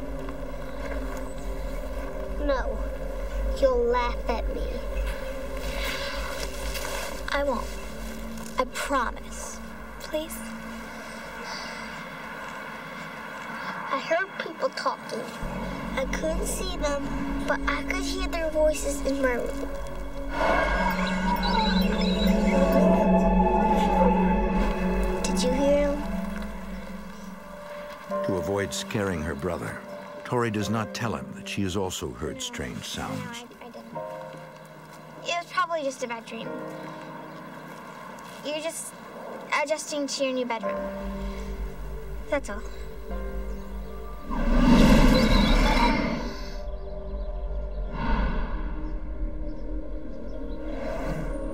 None of the Shays mention their individual experiences. For the next few weeks, time passes uneventfully. Despite the demands of his hectic schedule, Ben spends time with Bridger before leaving for work. And the old gray octopus swam back into his dark, watery cave at the bottom of the sea and never, ever came back out again. The end. Read it again. Uh, it's getting late, kiddo. Give me a kiss. I love you. I love you too. Get in bed. Close Ben eyes. hopes that after he earns his degree, he can work normal hours and spend more time with his family. Mommy! Are you saying goodnight to Daddy before he leaves? I gotta go to work, buddy. I wish you didn't have to go. Me too. Love you. Love you too. Bye. Good night.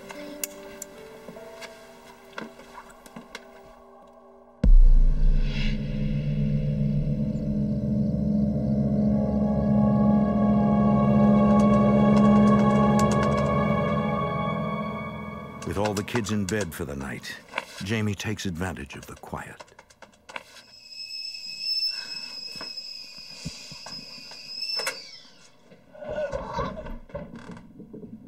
Tori, is that you? Bridger, Tori, you get back to bed. I kept hearing my kids running up and down the stairs. Oh. Kids, get back in bed.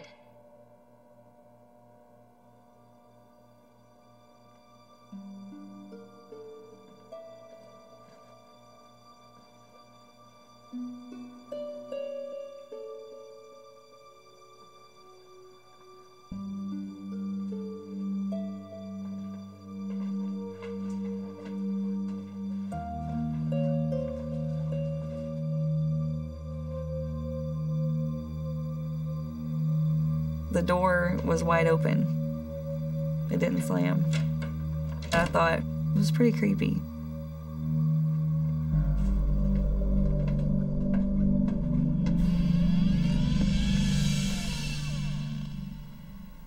All three of the kids were sleeping, and I was the only one in the house besides the kids.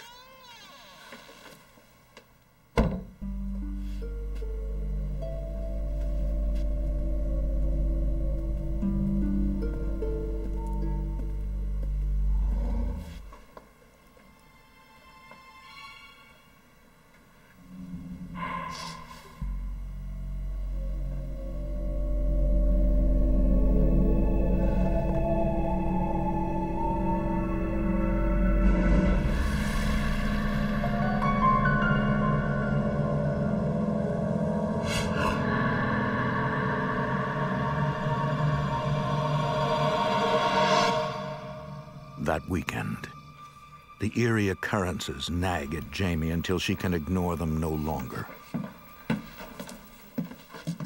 Holly told me the weirdest story today. She said that she heard crying in the baby monitor, and when she went upstairs to check on Jackson, he was asleep. She said it looked like he hadn't even been crying.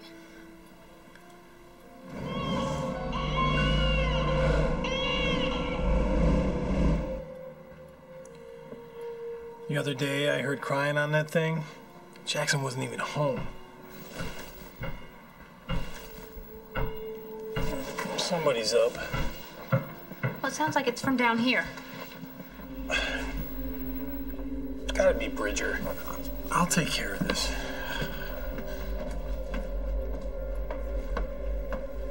It sounded like a like a, a ball bouncing. I went to check on the kids and yell at them for being up so late and messing around. And, uh, you know, of course, everybody's sleeping.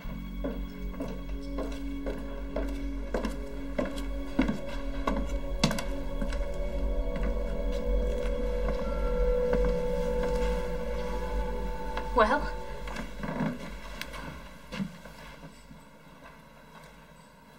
They're all asleep.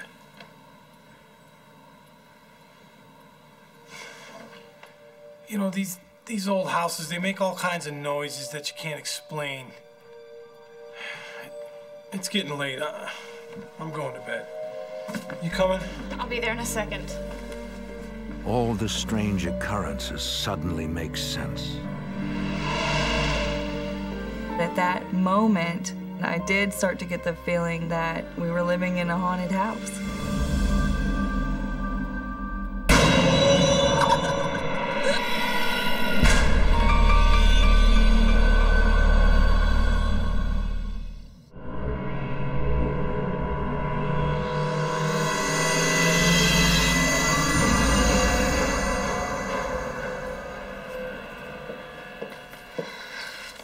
Visits the local library, hoping to learn more about ghosts and hauntings.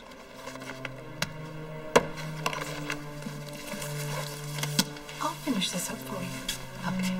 Brenda will finish helping you.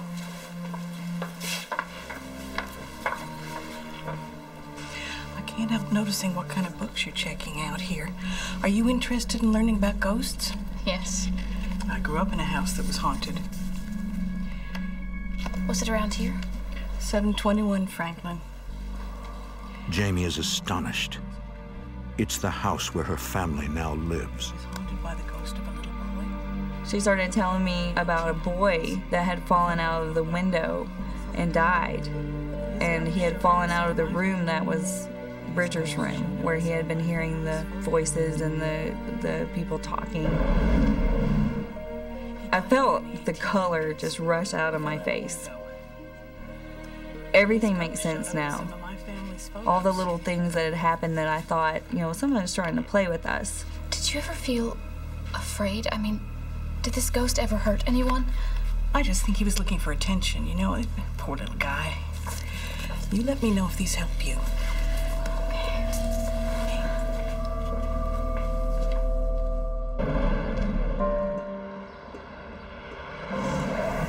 The next morning, Jamie eagerly awaits Ben's return home from work so she can tell him what she learned. She worries about how living in a haunted house may affect her children. No, you have to wait till it's cooked. It only takes eight minutes. Hey guys, what you doing? Daddy, Daddy. Buddy. Hello. We're making cookies. Ooh, I see you're putting your Saturday morning to good use, huh? Mm-hmm. Bridger, your hands are sticky. Why don't you go wash them up? Can you help him out? Okay, Bridger, don't touch anything. Ben, I talked to somebody who's lived in this house before. How'd you manage that? She works at the library. I met her there. She says that there was a ghost in this house. A little boy. A little boy. I don't know what I feel about living in a haunted house.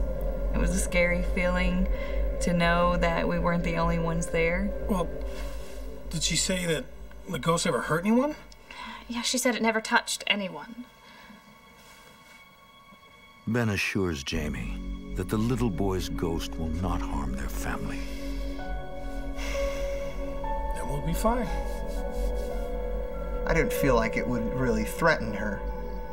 You know, I just kind of thought maybe this haunting stuff will kind of die down. As the holiday season arrives, the activity quiets down around the house.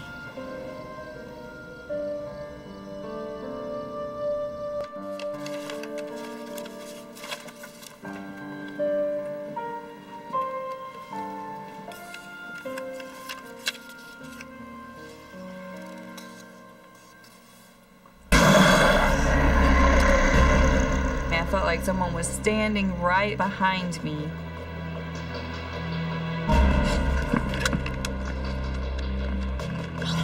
Some rest, though. I'll put in the paperwork. Let me uh, grab that. First aid. Ben, thank God you answered. Jamie, what's wrong? I felt like I was being watched, and then suddenly I looked up and I saw him on my computer screen. You, you saw who? Ben, I didn't get a good look at who it was, but What happened? it was evil. I'll try to come home early, I promise. It was very frustrating. And, and not being able to be there, I felt totally trapped. That was probably the first time that I felt threatened. I didn't feel like it was a little boy playing games with us. I knew that this was something different.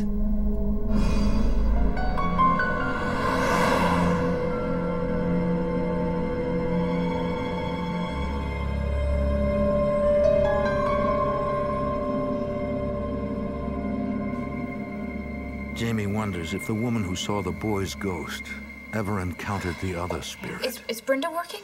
I'm sorry, Brenda no longer works here. Do you know how I can get in touch with her? I'm afraid not. She left with no forwarding address or telephone number. Did she leave the area? I think so, but I can't give you any more information Look, than that. I am just a friend trying to get in touch with her. Is there something I can help you with? No. Thank you. I was really disappointed because I thought this is going to be at least an answer to what we're dealing with here. Although days pass without incident, the dark presence continues to weigh on Jamie's mind.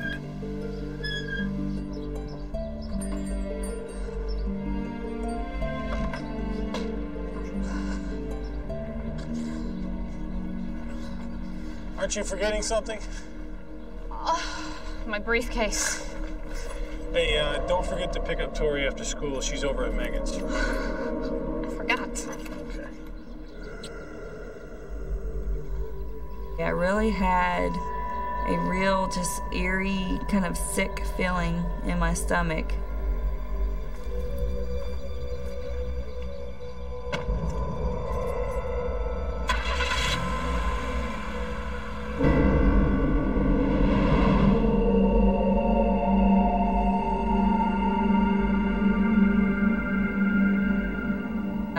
Dreaded going home. It was starting to not feel like a home anymore.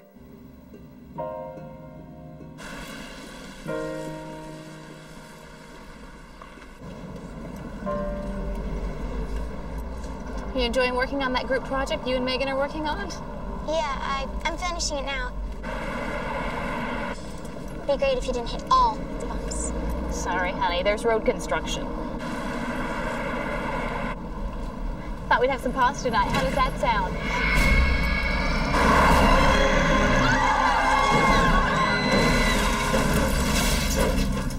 When I got out, Tori was under the minivan, pinned face down with a the weight of, of the entire minivan on her, and I thought she's not gonna make it through this.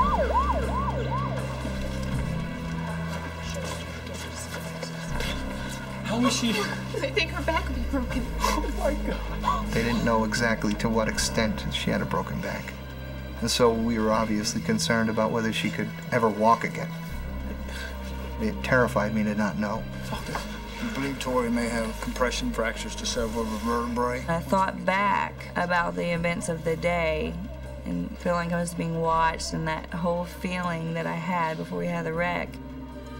I started to wonder if there was some kind of connection. Right now, I can't. Just have to wait. Thank you. Two weeks after the accident, the hospital releases Tori, just in time for Christmas. Although her doctor expects her to make a full recovery, Tori will be bedridden for several months. What are you doing here? Good. I like this. She could not walk without help, so I took a leave of absence from work because she needed pretty much constant care. And all that? You sure? Oh, you okay? Bridger, that's Tori's scooter. It's okay. He can ride it. It was an awful Christmas because we had just bought her a scooter. Don't worry, you'll be up and around riding on that thing before you know it. The scooter is kind of like a, like hey you know, you will, you will walk again. You will be able to ride the scooter eventually. You're not paralyzed. Thank the good Lord for that. Come on, Tori. You heard what the doctor said. You are young and strong. You are going to be up and about in no time.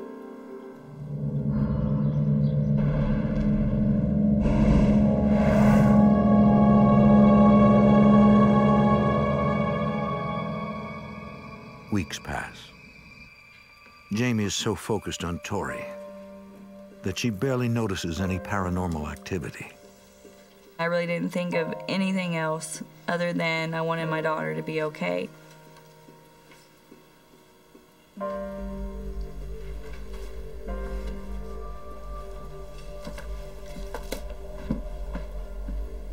Bridger, what are you doing up? People in my room are talking again. What are they saying? I can't understand them. The good boys and the bad boys all talk over each other. What bad boys? Who are the bad boys? I don't know. Could I sleep with you and Dad? Okay, you can stay with us tonight. He's sleeping with us tonight. He's hearing voices again. I'm gonna go check on Jackson. Hey, buddy. You okay? Did you hear something scary?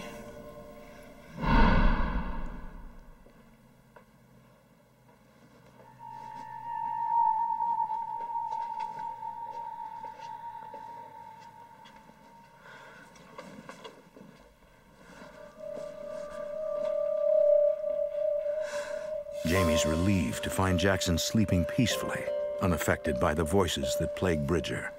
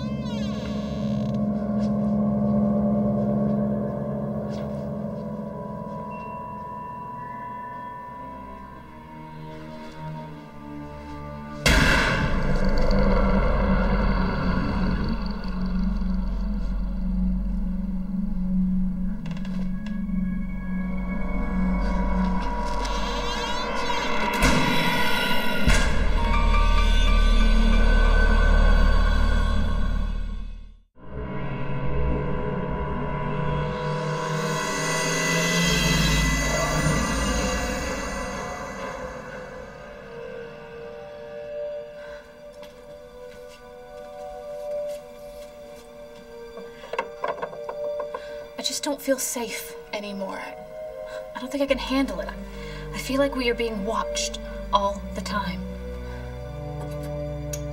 But there's no way we can go anywhere until Tori is better. I didn't care whether the house was haunted or not at that point.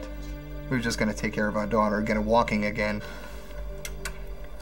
Well, we can start looking now and I'll put the house on the market and see what kind of offers we get.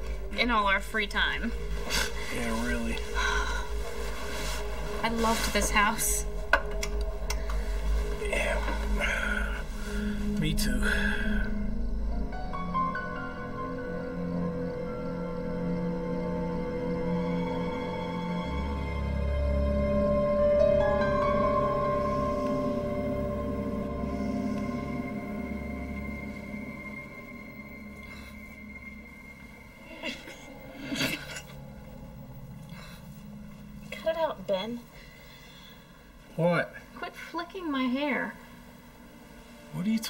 I didn't touch your hair.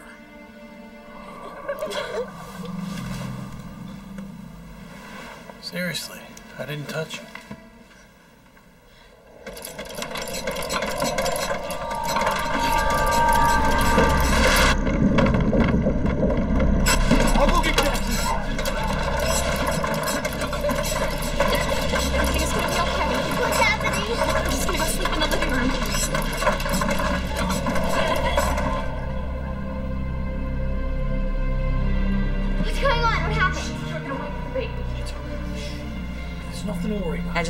This urgent need to get everybody into the same room, and that way I could protect them in some way. Little man, we are just gonna sleep right here. Somebody please just tell me what's going on. Just a little excitement. That's all. We've got to find somebody who can help us. We cannot live like this.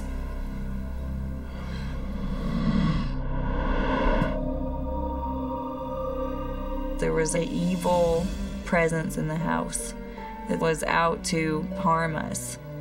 And it wasn't the boy, it was something else. And it was starting to show itself more. And I knew we had to do something. The Shays contact the Central Arkansas Society for Paranormal Research. They arrange to come to the house as soon as Tori is well enough to be moved. This is ridiculous. I don't understand why I have to go. I need you to go with the boys and help Molly out. It's only for one night. She's gonna bring you back in the morning, okay?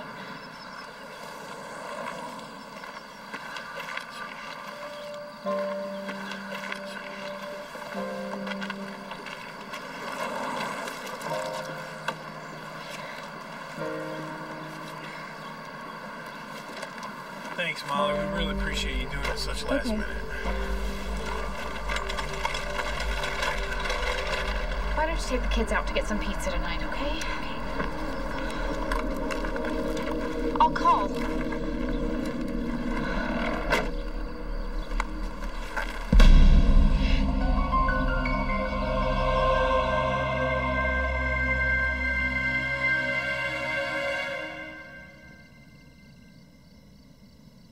The team of investigators arrives and sets up for the night. We need to change these tapes. I don't want to miss any. Alan Lowe's goal is to find physical proof to explain the paranormal occurrences. His wife Angela and their daughter Violet are psychics.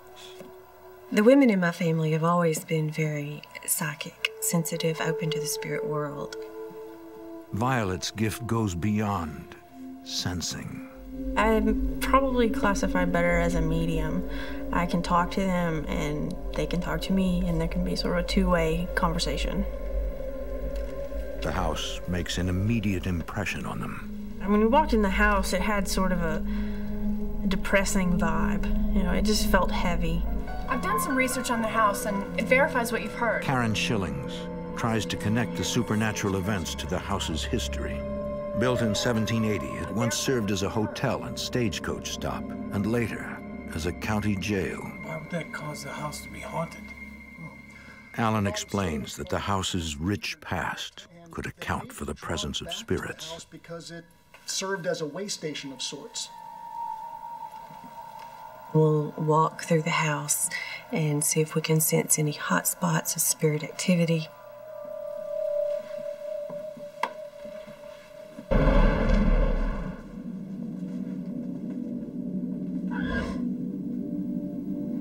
When I got to the top of the stairs, it was a sinking feeling. And it was definitely coming from that direction of the house towards that room.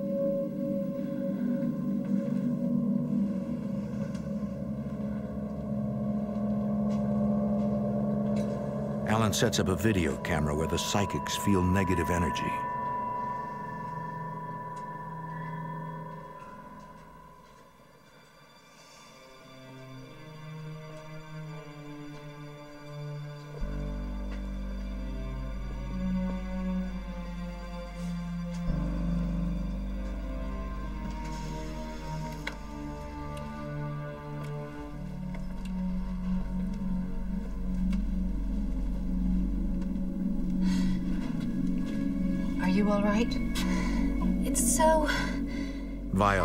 Senses a presence.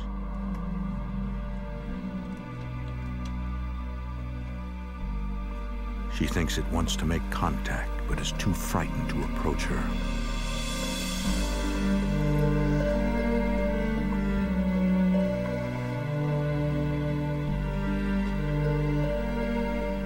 I felt like somebody walked in the room. Don't be afraid. I mean, he was human, but he didn't look like he was really standing there. He was sort of see through. Will you talk to us?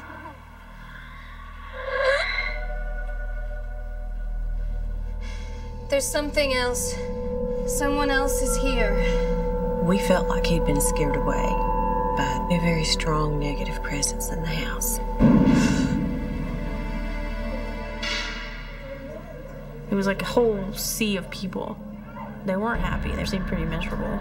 It felt like they didn't want you there. Like you shouldn't be in this room.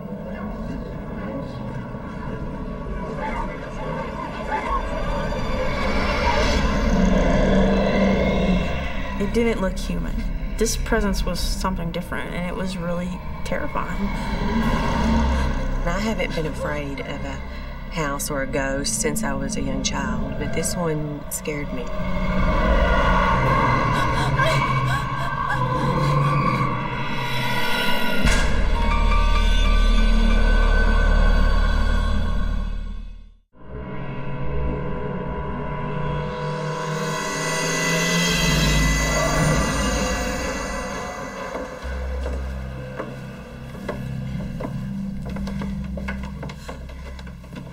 Psychics tell Jamie and Ben about the little boy and the multitude of human spirits they encountered Those are the voices your son has been hearing. and inform them there is a negative presence in the house. We don't know what it is, but with your permission, Angela hopes to communicate with it in order to learn more. One of the paranormal team people suggested that we find out more details about the spirits by asking them questions through the Ouija board. And I really didn't believe in the whole Ouija board thing.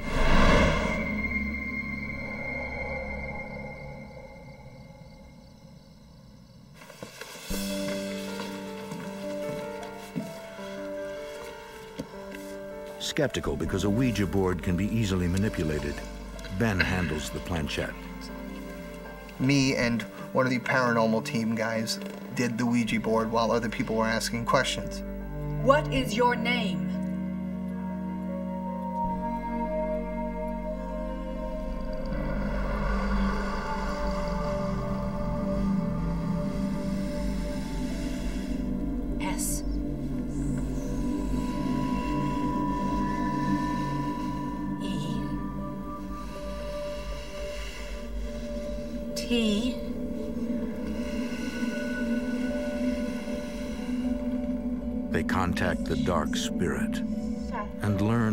Calls itself Seth.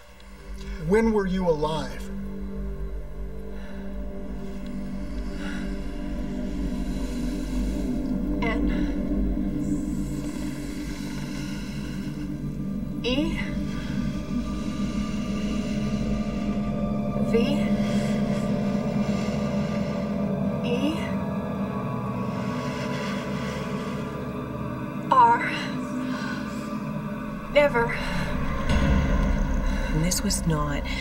Physical person who had died. This was a demon who had never lived.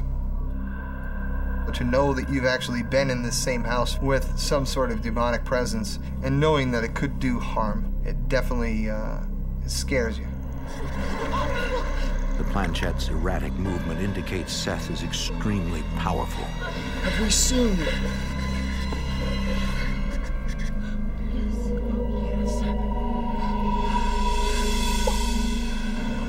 pointing to the camera.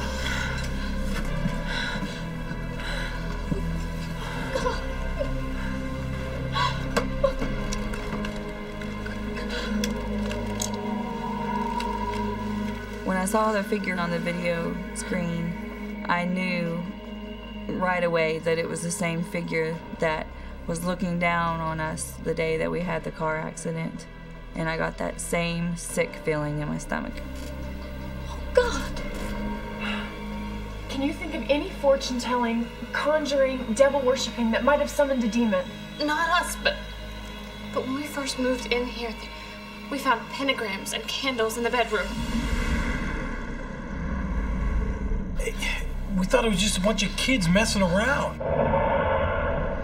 They might have opened a door they shouldn't have. A door? A portal to the other side. Show yourself to us. Unleash your powers. Whether it was those kids or someone else, evil had been invited into that house. Angela fears for the family's safety. The spirit was so negative and so evil and so aggressive that the possibility of the family being in danger was very real if something wasn't done. I recommend. She recommends a ritual cleansing to clear the house of the evil spirit.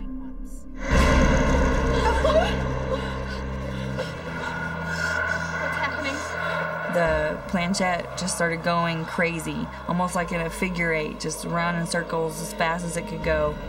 It was really, really scary. Seth wields the planchette, expressing his rage at the decision to perform a cleansing. We knew that Seth was totally against this and was trying to stop us from doing it. He definitely didn't want us there, and he didn't want us doing the cleansing. Using a Native American tradition, they burn sage to bless the house. The sage is used to cleanse areas of negativity so that you can see clearly into the spirit world. And in our prayers, while we're doing the cleansing, we ask the Heavenly Father to protect this family and fill the home with white light and rid it of any negativity. Let no evil come in. Let no evil torment this family. Protect this household. Let no evil come in. Let no evil torment this family. Protect Jackson. Protect Bridger. Protect Tori. Protect Ben. Protect Jamie. Protect this family. Protect this household. Let no evil come in. There was heaviness against our chest like we were being pushed back. He was trying to literally push us out of the house.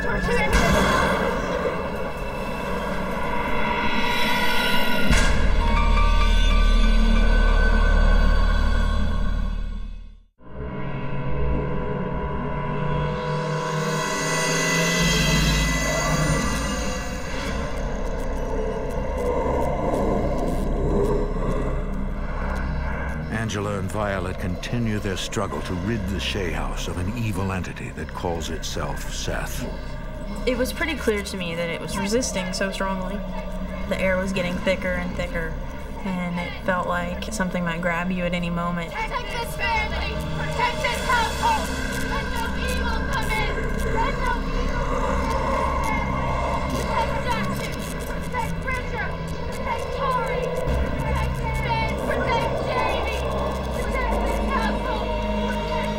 Circle of salt that will guard the house from Seth's return. Well, you draw a line around the house to protect it from evil.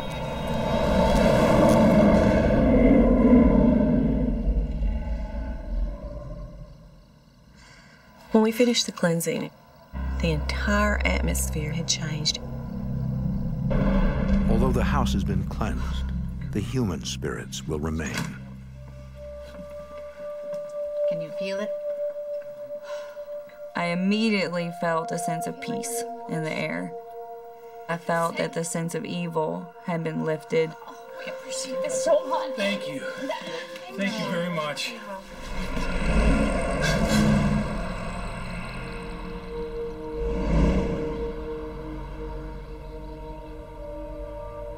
For the next several months, life for the Shea family returns to normal. Sure? All right, two it is. Here we go. Well, hello, Sleeping Beauty. Fortunately, Tori makes a full recovery. You want some pancakes? Yes, please. Can I have mine with grape jelly? You sure can. Nothing but the best for you, sweetie.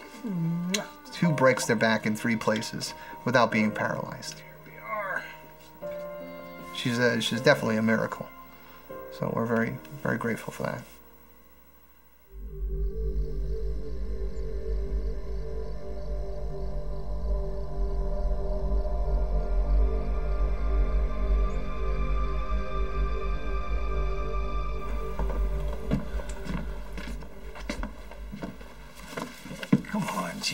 It's the weekend. Uh, Look, I'm glad you're back at work, but can't this wait till Monday? No, I have a meeting first thing. Look, I'll, I'll take the kids to the fair tomorrow. You can have the whole house to yourself. I've been studying finals all week and I haven't seen you. I guess I could take a break.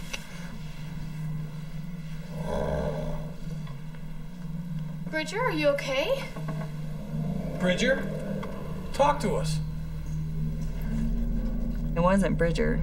Sounded kind of wicked, and it just cut right through me. Bridger! Um, Dad, what am I doing down here? Bridger, you stay here with your daddy. I'll be right back. You okay, buddy?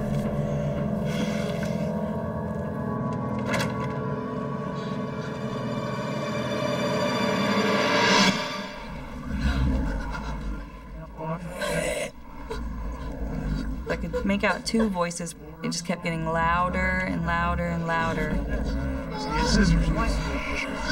was just coming to get you.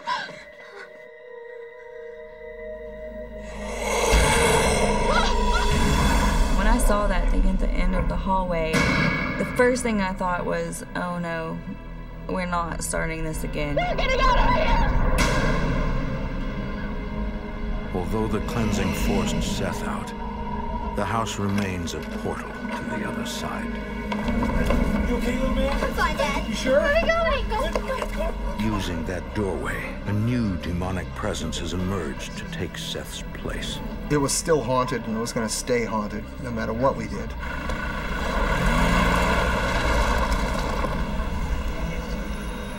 The Shays know that if they stay in the house, dark entities will continue to prey on them. Ben and Jamie immediately put the house on the market and moved to an apartment nearby. A few weeks later, Ben finishes school and the family starts a new life in a new town. We are a much tighter family outside of that home. We're not dealing with the constant stress of being haunted. Nice. You taught him well. I always thought when I was younger that it would be kind of cool to live in a haunted house. I would never want to experience that again. Soon, another family moves into the house. They hear the ghost boy playing, but have yet to encounter the demon that plagued the Shays.